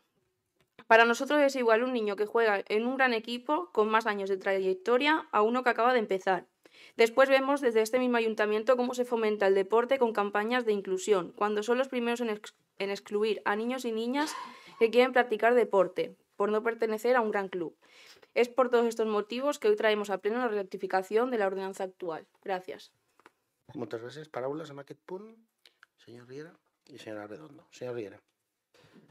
Uh, nosaltres uh, votarem en contra de la proposta de la, de la moció del grup de Vox perquè creiem que el text vigent de l'ordenança és millor que el que proposen.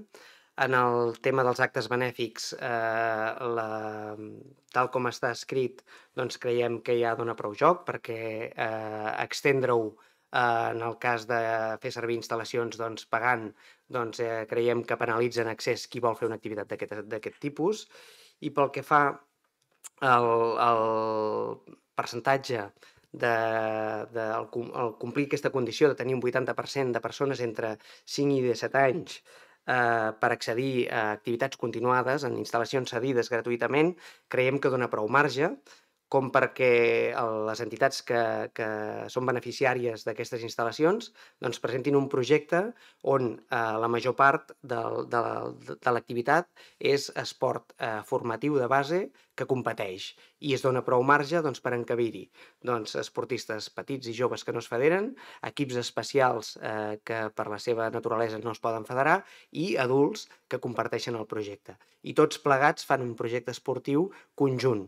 Eh? I els eh, grans, en aquest cas, doncs, són els entrenadors dels petits, els monitors que ajuden, els referents pels eh, joves eh, que no tenen tanta edat, i entre tots es fa el projecte. Ens sembla que el text de l'ordenança és prou equilibrat en aquest, en aquest sentit. Moltes gràcies, senyora Redondo. Eh, nosotros apoyaremos la moción, y, pero añadiríamos algo más, que eh, se eliminarán los porcentajes. De ahí que mm, propongamos el patronato para que sean las entidades deportivas quienes decidan cómo y cuándo se tienen que utilizar las, las, las, instalaciones. Hay que dar responsabilidad a las personas que están en el ámbito. Por eso, mm, de ahí nuestra propuesta del patronato. Gracias. Moltes gràcies. No sé si quieren comentar algo más. Señor Ferrer. Bueno, contestaré al señor de Esquerra. Si se presenta esta moción es porque hay clubs afectados que se tienen que ir fuera de Viladecans y pagar un alquiler o bien en, en Viladecans, como se ha comentado en la, en la exposición, eh, tienen que alquilar un local privado, o sea, un, un espacio privado para poder realizar su actividad. Entonces, mm, no vemos lógico que, que esto esté pasando eh, aquí. Entonces, simplemente eso, o sea, no, no, no nos sirve que, que cuando cumplan la mayoría de edad se dediquen a entrenar, porque no, entre, o sea, entrenan menos de, lo, de los que juegan y cumplen la mayoría de edad. O sea, no, no te puedes basar en, en eso. Gracias. Bé, moltes gràcies. No hi ha més paraules. Per tant, amb el vot contrari del govern d'Esquerra i el vot favorable de Vox i PP, quedaria també rebutjada la moció. Passem a pregs i preguntes. Qui vol fer pregs i preguntes? Senyor Bausa. Bueno, tothom menys el senyor Delgado, no? Vale. Senyor Bausa, endavant. Bé, gràcies, senyor alcalde. Uh, la primera pregunta que formulo és sobre el pla normatiu de l'Ajuntament. Si no anem errats, el darrer que es va aprovar va ser per als anys 2019 i... Ah, perdó. Uh, per als anys 19 i 2020, amb dues modificacions l'any 21. Però a partir d'aquí no hem vist que passi res més pel ple. Uh, I revisant aquells documents, uh, hem vist com, per exemple, es deia que s'aprovaria el reglament de la policia local, però no tenim constància que s'hagi aprovat. I, per tant, com encara queden coses pendents, voldríem saber en quin estat estan les diferents normatives que encara no s'han aprovat o actualitzat, que recollia el pla normatiu anterior, i si durant aquest mandat eh, s'aprovaran eh, plans normatius. Eh, la segona és sobre la eh, urbanització del carrer Anselm Clavé. Eh, el pressupost de l'any 2019 recollia la urbanització d'aquest carrer, però quatre anys més tard només s'han fet algunes actuacions eh, molt petites que encara no han solucionat el, el veritable problema d'aquell carrer. Uh, D'aquella partida hem vist com a l'estat de les execucions de les inversions només s'ha gastat un 5%. I per tot plegat els voldríem demanar que durant aquest any facin d'una vegada aquesta urbanització perquè el carrer està igual des de fa gairebé més de 25 anys. Uh, fa anys que els hi demanem i sempre ens diuen un- una data que després no, no s'acaba complint. Gràcies. I el tercer, sobre la millora de les zones d'esbarjo per a gossos, um, gairebé totes aquestes zones estan en un estat molt més que millorable i el nostre grup sempre ha defensat la seva millora. I no és la primera vegada que, que preguntem en aquest ple. La darrera va ser a l'inici del mandat passat, on se'ns van dir que, que durant el mandat no hi havia previst millorar-ne cap altre. S'havia fet l'actuació de Can Xic i, i, i cap més. I aleshores eh, voldríem saber si durant aquest mandat està previst millorar-ne les, les que queden. Gràcies. Ah, vale. També m'equivocava de botó. Jo també, jo en tinc dues. Una eh, és un prec sobre la zona blava, perquè hi ha un problema eh, per anul·lar multes, tant als parquímetres com, com a l'APP de les zones blaves de Viladecans. eh, partint de la base que tothom hauria de posar el seu tiquet, però bé, si alguna vegada doncs, tens algun problema i no, i no l'has posat i t'arriba una multa i no pots anul·lar-la abans de l'hora, no? Que aquesta sí que, que està permesa en el, en el parquímetre o en l'APP, eh, el tiquet de la multa eh, t'ofereix la possibilitat d'anul·lar la multa en 24 hores eh, pagant 15 euros. I aquesta opció no és viable ni pel parquímetre ni per l'APP. Eh, hi ha hagut una persona que s'ha trobat doncs, en, aquest, en aquesta tessitura, no? ha trucat per telèfon a diverses opcions que, que hi ha diversos telèfons que hi ha en l'aparell, en el parquímetre, eh, li han contestat, un és a l'empresa, li han contestat que a Viladecans no està habilitada aquesta opció, a Viladecans no està habilitada aquesta opció, i l'altre telèfon era per cap a Viqual, a Viqual eh, no sabien res, el van adreçar a la plaça Europa, a la plaça Europa el van adreçar a Economia de l'Ajuntament i també li van confirmar que efectivament eh, no, no estava habilitada doncs, la possibilitat d'anul·lar en aquest període de temps amb els 15 euros. Per tant, si un ciutadà doncs, eh, no pot fer-ho i no truca, no reclama, no es mou, Uh, L'únic que li queda és que li arribi la multa de 90 euros, que pots pagar amb un 50% amb 45 euros si ho fas en el període aquest que, que té. No? Per tant, doncs caldria revisar uh, aquest, aquest aspecte. En aquesta persona sé que li van treure després de, de moure's, uh, però clar, uh, no tothom doncs, reaccionarà, de la mateixa, reaccionarà de la mateixa manera. I després ja afegeixo també que és el segon prec on eh, poso de relleu que una persona ha anat a un lloc, després a un altre, després han enviat a un altre, potser que també reviséssim el tema de la finestreta única eh, perquè el ciutadà quan va a picar una porta doncs no se'l vagi derivant a diferents, a diferents llocs. I després volia fer un altre prec sobre les reparacions al ferm de la via Cornisa, que es va inaugurar, doncs, la via Cornisa es va inaugurar abans de les eleccions, eh, sembla, no? pel, pel que està passant, doncs sembla que de forma es va acabar de, a, la, a correcuita eh, per tenir-la llesta doncs, abans de les eleccions i poder-la i poder-la inaugurar. Eh, el ferm s'ha reparat en, diverses, en diversos punts, eh, el parterre s'ha hagut de canviar perquè els cotxes que, que aparcaven a les zones habilitades per l'aparcament no podien obrir la porta perquè els hi tocava doncs, això, a la, a la, al, al panot de la vorera. I per tant doncs, eh, bueno, volem preguntar eh, si ja s'ha recepcionat aquesta obra, que no, que no ho sabem, quantes actuacions s'han hagut de fer des de que es va inaugurar, en què han consistit aquestes ubicacions, eh, a quins punts si han estat localitzades en un punt concret o han estat a través a diferents punts de la via cornisa, um, i després qui està assumint el cost d'aquestes uh, reparacions. De fet, ens, ens comenten doncs, que en l'últim dia doncs, es va treure entre 1.000 i 1.500 metres quadrats d'asfalt, que es va posar formigó i després es va tornar a asfaltar amb una capa fina d'asfalt, Uh, això uh, té molt mal uh, final, potser, quan arribi l'estiu i, i augmentin les temperatures, que s'escalfa molt l'asfalt amb aquest gruix tan, tan prim, doncs segurament és uh, pa per avui i, i gana per demà i per tant a l'estiu tornarem a tenir problemes en aquest, en aquest punt. Uh, res més, gràcies.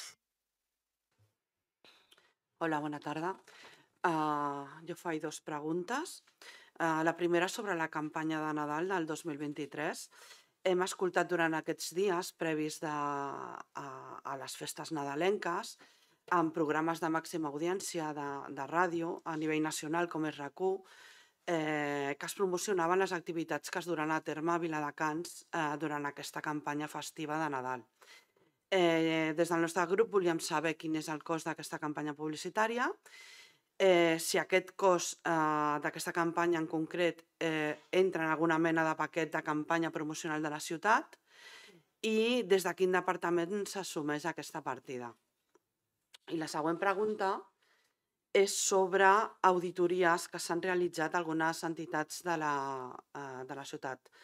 Durant eh, aquest any, aleatòriament, s'han realitzat auditories a algunes entitats de la ciutat que van rebre subvencions durant l'exercici 2021. Mm, ens informen que el procediment eh, ha estat una, mm, ha estat d'una manera molt impersonal. En cap cas han tingut contacte personal amb les entitats eh, auditades i tot s'ha fet a través de requeriments per escrit i sense la possibilitat d'explicar personalment les despeses eh, que se'ls reclamava. Eh, no s'han pogut interactuar amb els auditors, eh, cosa que ha fet que en alguns casos les al·legacions presentades d'algunes despeses, tot i ser perfectament subvencionables, que, ja que es mm, complien les, les bases establertes per poder accedir a aquestes, a aquestes subvencions, s'han desestimat. Eh, vull aclarir que no ens estem queixant del fet que es facin aquestes auditories. Val? I que ho, i que ho faci una, una empresa externa. Vull dir, estem d'acord en que això s'ha de fer. S'entén que és una necessitat, uh, és una eina imprescindible per garantir la transparència. El que ens sorprèn ha estat la manera. No? Les, uh, les auditories es solen fer d'una manera presencial amb la possibilitat d'interactuar amb l'auditor. I és per això uh, que des del nostre grup sol·licitem eh, que es vigili el procediment que, que segueix l'empresa que realitza aquesta auditoria, que es miri de fer una manera més propera cap a les entitats. Eh, també volem saber quantes i quina tipologia d'entitats eh, s'han auditat i d'aquestes quines han sigut penalitzades a retornar part de la subvenció rebuda, eh, com s'ha fet la selecció eh, de les entitats a auditar i volem saber també si s'ha auditat també empreses que han rebut eh, subvencions municipals. Gràcies.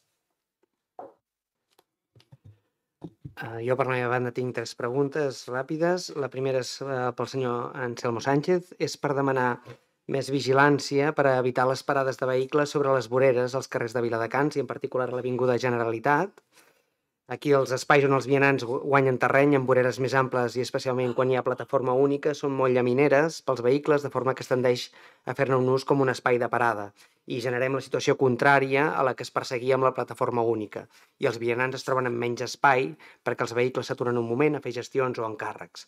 Aquest és el cas de l'Avinguda Generalitat, on després de la millora de la C245 i amb la plataforma única els veïns i els vianants han de conviure amb cotxes que s'hi aturen, furgonetes de repartiment que paren o fins i tot un autobús escolar que s'atura cada dia, laborable que hi ha escola, sobre la vorera a recollir el passatge.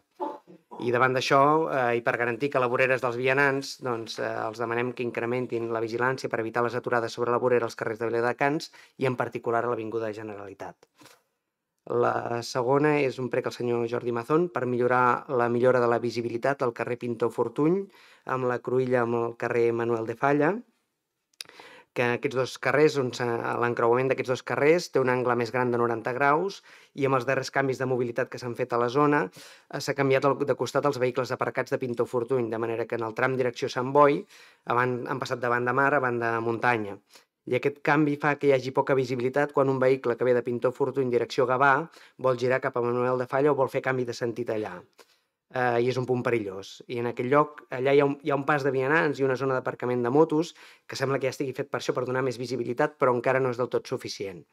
Eh, demanem si es pot millorar la seguretat en aquesta intersecció, ja sigui eliminant espai, un espai d'aparcament més o canviant eh, en aquest tram els vehicles aparcats, tornant-los en, el, en el lloc on estaven abans, al costat mar. I el tercer prec és eh, per la senyora Encarni Garcia, és per conèixer l'estat de tramitació de l'ordenança per un bon ús de l'aigua i la implantació de les mesures previstes al Pla d'Emergència per sequera de Viladecans. Estem, malauradament, a poques setmanes d'iniciar la situació d'emergència per sequera. El Pla d'Emergència de Sequera de Viladecans que vam aprovar l'octubre passat preveu diferents mesures que hem d'implementar en aquest estat de situació i volem preguntar doncs, com estan i en cas que no estiguin activades doncs, demanar que, que s'activin. La primera és la mesura 9 del Pla d'Emergència de Sequera de Viladecans que preveu l'elaboració de l'ordenança d'estalvi d'aigua i demanar si s'ha començat a fer eh, i, i activar-ho si, si això no s'ha donat el cas, doncs és un instrument que necessitem i que és complex d'elaborar i llarg i per tant cal, cal que comencem. La segona és la mesura 28 del pla, que preveu la preparació de l'estat d'emergència. Seguint el que diu aquesta mesura, s'està preparant ja la normativa que pertoca i la intensificació de controls que hi haurà d'haver. I, finalment, la mesura 20, 27 preveu que ja des de l'escenari d'alerta s'intensifiquin les campanyes informatives des de l'Ajuntament per fomentar, entre altres, bones pràctiques d'estalvi d'aigua. Eh, la pregunta és quines campanyes informatives hi ha previstes ara en aquest moment preveient ja el nou escenari. Gràcies. Eh, yo tengo un ruego y dos preguntas. El primer ruego es, eh, hace referencia al Camí del Mar, que es una vía que se está utilizando cada vez más por, mm, muchas personas de Viladecans porque ofrece tranquilidad, tiene un entorno mm, tranquilo y, está libre de circulación y de polución. Eh, muchos ciudadanos de- que frecuentan este camino lo hacen en horarios sin luz solar y de- debido a circunstancias de trabajo, estudios u otros motivos. Pero nos encontramos que esta vía está muy poco iluminada, salvo los 50 primeros metros, la puerta del- de acceso al Parque Agrópolis y de la, UPC, de la UPC y la rotonda a la entrada de la autovía de Castelldefels, el resto del tramo no tiene ni una sola bombilla. Por todo lo, expuesto, eh, rogamos que se dote de iluminación suficiente todo el recorrido del Camí del Mar. Luego tengo dos preguntas. según, nos, segons ens manifesten els veïns del grup Sant Jordi, es produeix gairebé totes les nits una certa activitat de tripijoc en la zona de la part de darrere de l'edifici on es troba l'associació de veïns del barri. Eh, aquesta activitat produeix molèsties per sorolls i a vegades un cert escàndol. L'activitat a la qual ens referim, tot sembla indicar, està relacionada amb trànsit de productes prohibits, ja que no és normal l'anar i venir constant de persones en aquesta zona enmig de la matinada. És per tot això que volem saber si es té coneixement, aquest, té coneixement aquest eh, Ajuntament d'aquests fets.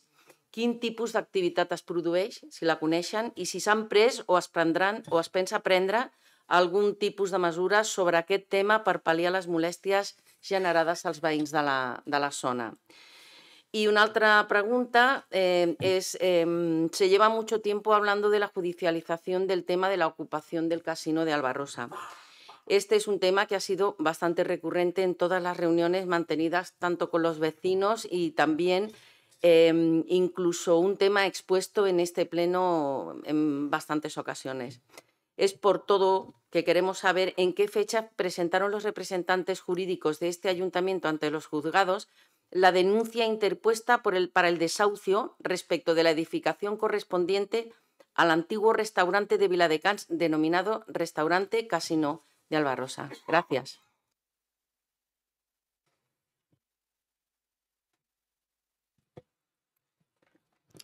Bé, jo faré, sí, jo.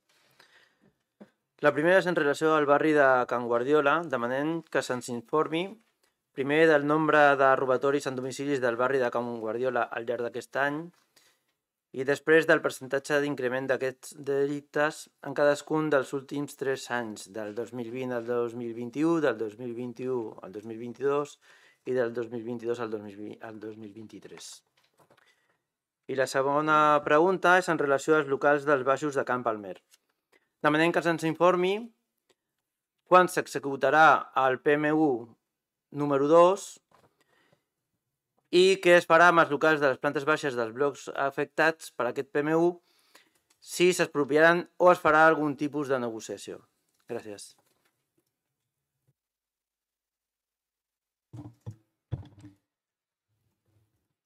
¿Sí? ¿Puedo? Gracias, señor alcalde.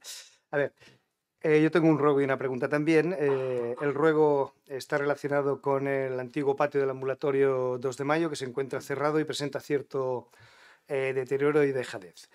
Eh, pese a que en el pleno de julio, eh, a la pregunta sobre la limpieza de este patio interior se nos respondió que, la que se limpia una vez por semana, cada jueves, no parece encontrarse en las mejores condiciones de, salu- de salubridad ni pulcritud. El patio del antiguo ambulatorio reúne características por su ubicación y dimensiones para dedicarlo a otras actividades que no sean un espacio cerrado y desaprovechado. Es por ello que pedimos al ayuntamiento tome me- las medidas necesarias para adecuar y adecentar el patio interior del antiguo ambulatorio para convertirlo en un parque o plaza pública donde tengan acceso los vecinos de la zona y puedan disfrutar de un espacio que ahora está totalmente desaprovechado. La pregunta que queremos realizar eh, está relacionada con la pasarela eh, con laterales de vidrio que va desde Olof Palmer hasta eh, frente al hotel B&B, hasta el bar del lago del Parque de la Marina. Al parecer, los vidrios que hacen de pantalla en esta pasarela suelen ser objeto de actos de vandalismo de forma reiterada, eh, produciendo roturas en dichos vidrios. Este hecho supone un peligro tanto para los viandantes como para las personas que pueden pasear por la zona durante, después y después de producirse la ruptura. A su vez, supone un gasto, creemos importante, tanto en reposición de los vidrios que actúan como pantalla, como de horas de dedicación para proteger la zona de nuestra policía local cada vez que se produce un acto de este tipo. A modo de ejemplo, podemos exponer que en una sola noche, durante la fiesta mayor del mes de septiembre, hubo un acto vandálico que produjo la rotura de 18 vidrios, de estos vidrios. Es por ello que queremos saber qué coste ha tenido la reposición de estos vidrios rotos eh, en esta pasarela a lo largo de este año, qué costes ha tenido en horas de nuestra policía local la custodia de la zona en su conjunto en estos actos vandálicos durante este año y eh, qué empresa tiene la concesión o el contrato de reposición de estos vidrios y considera el equipo de gobierno que debe cambiarse el sistema de protección de la pasarela por otro que pueda producir menos prejuicios que el actual. Y en relación a estas preguntas, mm, espero que no me respondan como nos respondieron a la pregunta del mes pasado eh, en relación a las eh, bombillas y luces del puente amarillo, que nos dijeron que estaban sufriendo actos vandálicos y que eh, robaban las, la- las luces. Aquí, en ese puente amarillo, ni hay ni ha habido una puñetera bombilla en toda la vida. Francis, sí, andaban. Y le rogaría también que el lenguaje lo cuidemos un poquito. Gracias, señor alcalde. Bueno, yo tengo un ruego para el señor Sánchez. Los vecinos de Campalmer nos han trasladado sus quejas sobre los cortes de la, de la luz por acciones fraudulentas o ilegales y rogamos una solución rápida y efectiva y que se tenga en cuenta este ruego. No queremos esperar a que pase un mal mayor para tomar decisiones o actuar en ese barrio. Tenemos constancia de la cantidad de llamadas a la policía local y la directriz que tienen siempre es la misma. No tenemos efectivos, cuando tengamos alguno disponible iremos. Si fueran órdenes, explícitas de este ayuntamiento para no actuar, es un problema, pero si es real que nunca hay efectivos para cuando hay una urgencia, es un problema mayor, que afecta directamente a toda la ciudadanía de Viladecans y su, y su seguridad. No queremos recordar la agresión que sufrieron en 2014 en dicho barrio dos trabajadores de la Brigada Municipal y los daños que causaron en el vehículo que los trasladaba. Como en el pleno anterior, condenamos cualquier acto vandálico y pedimos el compromiso de este ayuntamiento de ponerle solución cuanto antes. No somos nosotros quien creamos el alarmismo, decimos la realidad que sufren los vecinos, que acuden a nosotros como seguro que han acudido a cualquier otro partido de la oposición, porque no han recibido respuesta de este equipo de gobierno. Gracias.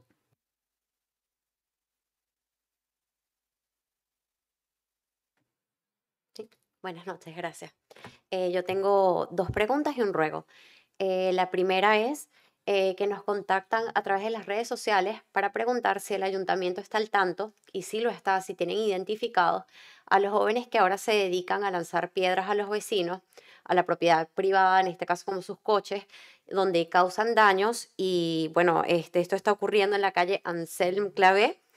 Y por otra parte, eh, ¿qué medidas de seguridad se están tomando eh, en, el torre, en el Parque Torre Roja después de los hechos que ocurrieron a principios de mes, eh, cuando un robo a un joven eh, terminó en un apuñalamiento?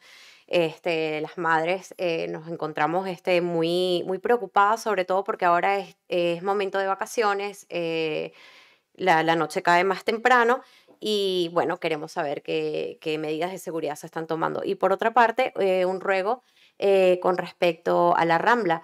Em, si se pueden colocar cestas de basura, si sean provisionales, este, mientras se hacen las obras, eh, hasta que se puedan colocar lo- las cestas de basura que, que van ahí fijas.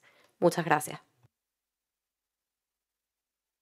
Doncs els regidors corresponents que hagin tingut alguna pregunta prec poden respondre.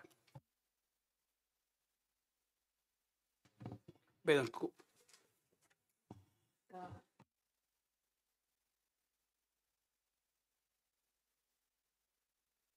Gràcies. Doncs sí, començo jo. Uh, referent al pla normatiu de l'Ajuntament, recordar que el pla normatiu està vigent i sí que és veritat que n'hi ha un procés de revisió que s'està du duent a terme en, en aquesta etapa i pensem que el pla normatiu estarà previst de presentar-se durant aquest primer trimestre del 2024. Referent a, a la, el tema dels parquímetres, eh, contesto jo si mm, queda aquí, així una mica així, però contesto jo de... ma- No, als parquímetres no, perdó, a les auditories. Contesto jo de manera generalitzada, d'alguna manera. Cada vegada que n'hi ha unes, eh, unes subvencions, uns ajuts, a les bases reguladores ja s'especifica com serà la, la proposta de justificació fa molt de temps, i especialment en, les, en els últims anys, eh, s'ha tingut en compte que la gran justificació que s'ha tingut al nivell tan elevat de subvencions que s'han anat donant es fan de manera telemàtica, és a dir, s'especifica ja en les bases reguladores que la, la justificació vindrà en la documentació de manera telemàtica. Per això no venen auditors a cadascuna de, dels espais. Eh, no obstant, sí que s'ha quedat, eh, eh, no sé si s'han produït ja algun, en alguna ocasió, però crec que, eh, crec que sí, però en qualsevol cas els dic que està previst explicar a les entitats de la ciutat eh, en què, eh, com funcionen les, les auditories. En alguns casos ens consta que ja, ja s'ha anat a explicar i des de luego la informació que sol·liciten, que és una mica més específica, els hi farem arribar. Gràcies. Bé, en relació als parquímetres, a comentar que sí que està habilitada aquesta opció, es pot, es pot anul·lar una multa amb el tíquet.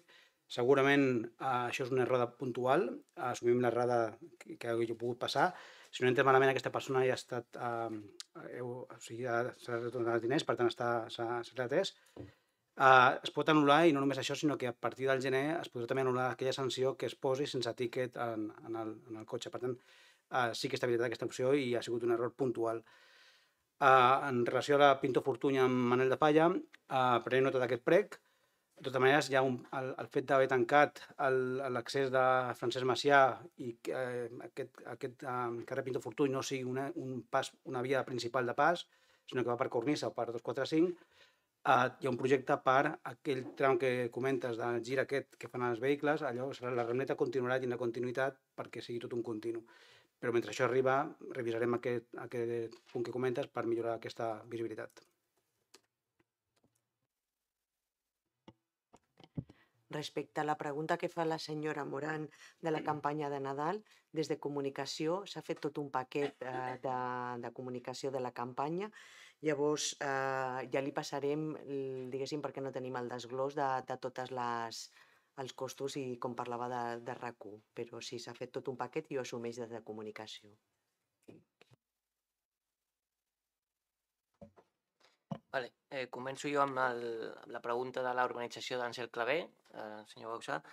Um, ara al gener tindrem el, el projecte d'urbanització, rebrem aquest projecte, l'haurem de, s'haurà d'aprovar, que són aproximadament uns, uns 3 mesos, s'haurà de licitar l'obra, que també doncs, són eh, uns 3-4 mesos o, o, o 5, i eh, la previsió és que començar l'obra d'aquesta urbanització doncs, al segon semestre de, del 2024 i finalitzarà segurament doncs, el, el 25. Vale? Um, respecte al uh, el vial de cornissa, que comentava la senyora Moiset, um, l'obra està recepcionada, lògicament uh, un sector tan gran doncs, té uh, doncs, moltes actuacions de reparacions, eh, és normal aquestes actuacions que, que, que es fan i uh, ara mateix no, sé, no sabria dir-te el nombre exacte de, de reparacions, però, però són diverses i lògicament doncs, això està en garantia i l'empresa constructora és la que es fa càrrec de, tota, de totes aquestes reparacions que s'estan eh, portant a terme. Després, eh, després el, recogemos el ruego de, de Vox de- sobre, lo sobre la Rambla que comentaba, ¿vale? recogemos eh, el ruego que, que comentaba. Y em, respondiendo a las preguntas del, del PP, em, eh, en cuanto al, al ambulatorio que comentaba el señor Moya, creo que era, lo comentaba. Sí, el- como le, como le comenté ya, el, o sea, el patio es, es titularidad privada, por lo tanto, actuar en, esta, en esa zona es, es complicado porque, claro, hacer una inversión en una zona privada, pues, eh, es, bueno, es, prácticamente imposible, o sea, no, no podemos eh, actuar. Por lo tanto, em, es, difícil de, de poder actuar. En cuanto a la, fecha de la, de la demanda que se interpone en, del Casino de Albarrosa, ¿vale? la fecha es el, creo que ya se lo comunicamos eh, hace unos días, fue el 24 de, octubre, que se hizo eh, el 24 de octubre de- de este año, sí. ¿Vale? Se hizo de- delante del juzgado, o sea, en el juzgado de, de la instrucción de Gabá. Y eh, respecto a la pregunta de los locales de Campalmer, del- de cuándo se ejecutará el PEMU2, pues eh, cuando se inicien las obras del PEMU1, ¿vale? el compromiso que hay con los vecinos es eh, sentarnos y, y hablar para, para definir eh, la- el, el PEMU2. ¿eh? Y, y en este caso habla de los, de los locales, los locales no están dentro del PEMU2, sino que son polígonos de actuación, que también, pues lógicamente, se hablará con los vecinos porque el compromiso es de hablar con ellos para, para llevarlo a cabo. Pero hasta que no se inicien eh, el PEMU1, pues no, no, no se podrá iniciar. Y creo que ya está.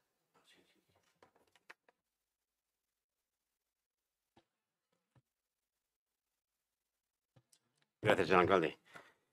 Vamos a ver, el señor Bausa, sobre el tema de las zonas del Valle de Agosus. Informarle que no está previsto en esta legislatura realizar eh, ninguna mejora, sí continuar con el mantenimiento ordinario y sí que vamos a hacer una modificación de los horarios de, de uso de estas zonas de Agosus. Eh, luego tenía aquí una pregunta del señor Marc sobre la, la vigilancia sobre los aparcamientos en, en- en estas calles, que es plataforma única, es decir, que incrementaremos la vigilancia en, esta- en estos puntos y más, ahora, y más ahora en fechas navideñas, que es cuando más vehículos se utilizan y, estaremos más al tanto de esto. Y luego tenía aquí el plan de sequera. El plan de sequera, eh, esta información se la pasaré, se la pasaré por escrito porque es más amplia, pero sí que informarle que estamos muy encima con el tema del plan, plan de sequera. Incluso teníamos previsto ahora ya eh, hacer unas plantaciones de árboles y los hemos paralizado por el tema de la sequera. Y entonces eh, estamos, sobre todo las zonas de, de, de riego de árboles y todo esto, estamos muy, muy encima y más con la información que nos cae constantemente del ACA. Eh, luego tenemos a la, la señora Ferrer sobre los cortes de Campalmer. Informarle que, que justamente hoy hemos tenido una reunión eh, en la que estaban los cuerpos de seguridad y la empresa Endesa para abarcar sobre, sobre este tema y seguiremos trabajando como siempre hemos trabajando en esta zona cuando hemos tenido las problemáticas de, de corte de luz y efectivamente llevamos un, un tiempo pues que hay un- unos cortes y para eso lo estamos abarcando. No solamente se ha iniciado esta, esta semana, esta semana fue una mesa de trabajo, pero eh, llevamos ya eh, varias semanas trabajando con todo el equipo. Luego tenemos aquí la señora Montilva que pregunta por, por eh, en la calle Anselmo Clavé unas, unas pedradas que dicen los vecinos que la verdad que no tengo, no tengo constancia. Eh, miraremos a ver la base de datos, a ver si realmente tenemos, pero que no me llegue, no me ha llegado absolutamente nada de, esta problemática en, la calle Anselmo Clavé. Y luego la, la pelea toda roja, pues eh, eh, hay varias peleas, pues suele pasar en estas peleas. En esta pelea sí que es cierto que hubo una agresión importante y bueno, eso pues hay que dejarlo a los cuerpos y fuerzas de, y fuerzas de seguridad del Estado, que son los que trabajan a pie de calle y hacen un seguimiento y una investigación de, de qué es lo que realmente ha pasado. Sí que es verdad que eh, a, par- a partir de, de- de esta agresión, pues en los campos de fútbol pues, estamos teniendo más efectivos policiales en esa zona. A ver. Señora Redonda y señor Hernández y señor Moya, les contesto A ver, la iluminación del Camino del Mar, informarles que el Ayuntamiento de Vila de Cans ha recibido una subvención de fondos Ne- Generation para instalar iluminación en el tramo del carril bici que va de la C32 a la B204 y estudiaremos la instalación del resto, teniendo en cuenta que una parte del mismo está dentro de la Sasa Natura. Luego, a la pregunta de la pasarela de los laterales de vidrio de Olof Palmer, informarles que el, el- coste que ha tenido la reposición de los vidrios es de 7.820 euros con 67. Eh, el coste que ha tenido, la pregunta que ustedes hacen, el coste que ha tenido de, de- las horas de nuestra policía local, informarles que desde el 10 de abril del presente año la policía local tiene en su planificación ordinaria y la vigilancia específica de la zona. En los turnos de noche, eh, por ese motivo no se puede evaluar el coste de horas. Eh, son, son, son puntos que van pasando eh, durante, en, toda la, en toda la población, puntos que tenemos conflictivos y una, no se puede hacer un control de, de ese horario. Luego, la, eh, la empresa de concesión del contrato de reposición de los vidrios, es, eh, eh, el mantenimiento está dentro del contrato de mantenimiento de espacio público. El adjudicatario de este lote es Cristalerías Vila de Cans SL. Luego pregunta si consideramos el equipo de gobierno que debe de cambiarse el sistema de protección de la pasarela, informarle que vandalismo en el espacio público se produce por desgracia en muchos puntos mobiliarios de equipamientos, papeleras, contenedores, marquesinas, etcétera, y no se retiran de la calle. Este es el caso de que no, tenemos previsto en ningún cambio. Luego, eh, la problemática que ustedes indican en el Grupo San Jordi, informarles que ni Policía Local ni Mossos de Escuadra tienen constancia de las denuncias que en la zona comentada. En los servicios de los últimos meses solo consta una llamada a la Policía Local por ruidos en un local. Eh, ¿Qué tipos de actividad se producen? Como ya les, les he contestado, eh, no tenemos referencia en esa zona de, problemas. Y, y si pensamos eh, tener algún tipo de mesura, eh, informarle que los cuerpos y fuerzas de seguridad no actúan sobre comentarios, sino sobre denuncias. Y como ya hemos comentado al principio, no se tiene constancia de ninguna problemática en ese punto. Luego a la pregunta de los robos de, de barrio de Can Guardiola, informarle que en el año 2021 hubieron tres denuncias, en el 2022 cuatro denuncias y en el 2023, lo que llevamos de año, cinco denuncias. Yo creo... Bien, muchas gracias. Sí, si quiere, por un momento, ¿alguien más quiere intervenir? Señor Bausa y señor Moya. Um, sobre el pla normatiu no m'ha quedat clar si és que el que es farà és una modificació del vigent, si es farà de nou un, i també tampoc se m'ha respost eh, si està fet el reglament de la policia local previst al pla normatiu del 2019. Sobre Anselm Clavé Perfecte, si ens podeu fer arribar el projecte per veure'l, i la zona d'esbarjo gossos... Ah, ja està, era això només, gràcies. Um, lo dels uh, parquímetres, doncs no sé a partir de quina data s'ha habilitat, perquè el 3 de novembre eh, tenim un missatge d'Easy Park, perquè per sort les coses uh, no sempre es fan només per telèfon, sinó que a vegades et donen resposta per escrit, on diu Buenas tardes, te informo de que no está permitida la anulación de sanciones a través de la aplicación en la ciudad de Viladecans. Això 3 de novembre, vull dir que si ja s'ha resolt, eh, perfecte, però Uh, M'agradaria saber des de, des de quan es pot eh, fer aquestes cancel·lacions perquè, com ja li dic, eh, que el 3 de novembre no era així, no només per l'APP, sinó que també es va recórrer molts dels parquímetres que anava trobant i no hi havia aquesta possibilitat. Gràcies.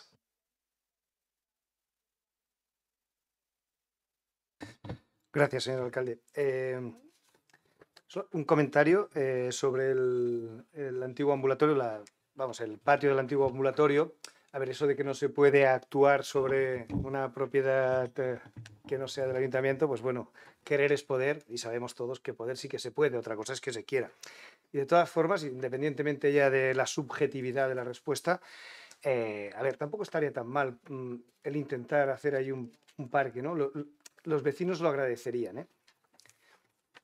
Y en relación a lo de la pasarela con los vidrios, No, no estaba pidiendo las horas que dedicaba la, po- la policía o nuestra policía local preventivamente, sino en concreto en las acciones donde se, han roto vidrios. No sé si, está, cuantificado o no, pero supongo que sí que se puede llegar a cuantificar. Es en, en los momentos puntuales, ¿eh? no hablamos en las horas de prevención, está claro que es muy difícil porque tienen su turno y van pasando cuando les toca y demás, ¿no?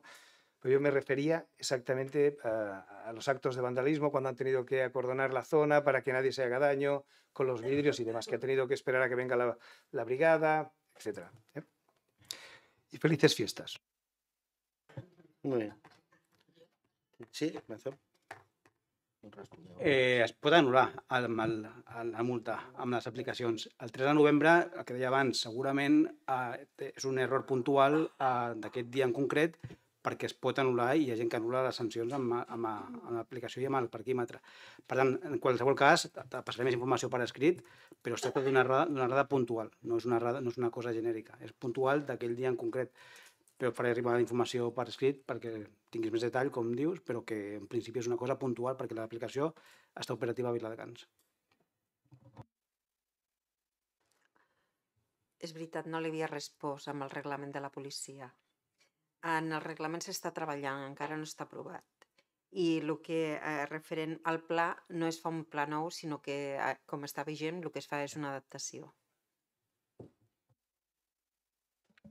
En- yo contestar al señor Moya, que antes se ha comentado lo de la pasarela del, del puente amarillo, que le- creo que no ha hecho referencia a mi nombre, pero yo le contesté y yo no le mentí. O sea, yo no, yo no creo que no dije que se rompen bombillas.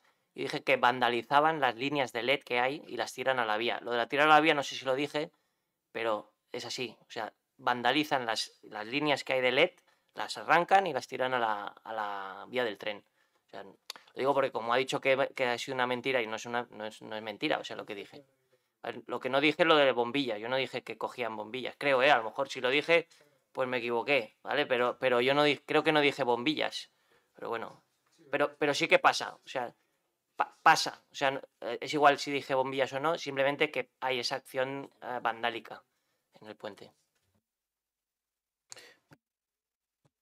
Les respon tot. Eh, señor Moya, una propiedad privada es una propiedad privada y el ayuntamiento no puede hacer lo que quiera con una propiedad privada. Usted tiene un concepto de la ley un poco relativo, por lo que veo, pero una propiedad privada es una propiedad privada. Es más, con la normativa de hoy, ni siquiera se hubiese podido hacer el ambulatorio ahí, porque es un espacio privado cedido por los vecinos que no, eh, no permite edificación. Y por tanto, en su día, estamos hablando de los años 80, me parece, sí, 80, eh, claro, las cosas iban de otra manera. Y entonces pues se hacía porque además habían urgencias y tal.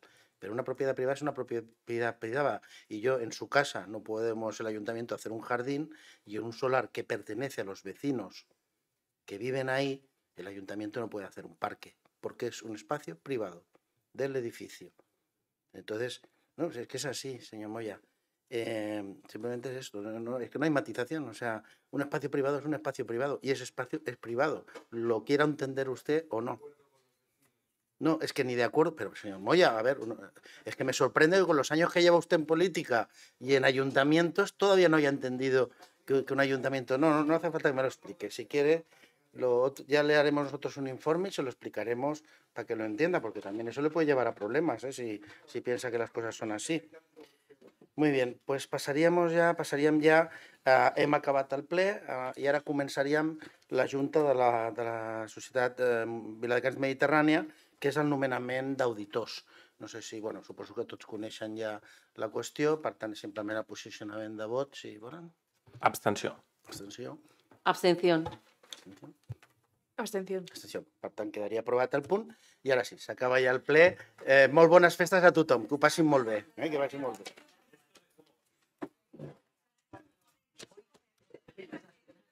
Bueno, i tenen, i, i tenen un obsequi també, suposo que ja l'han vist, no? Un torró.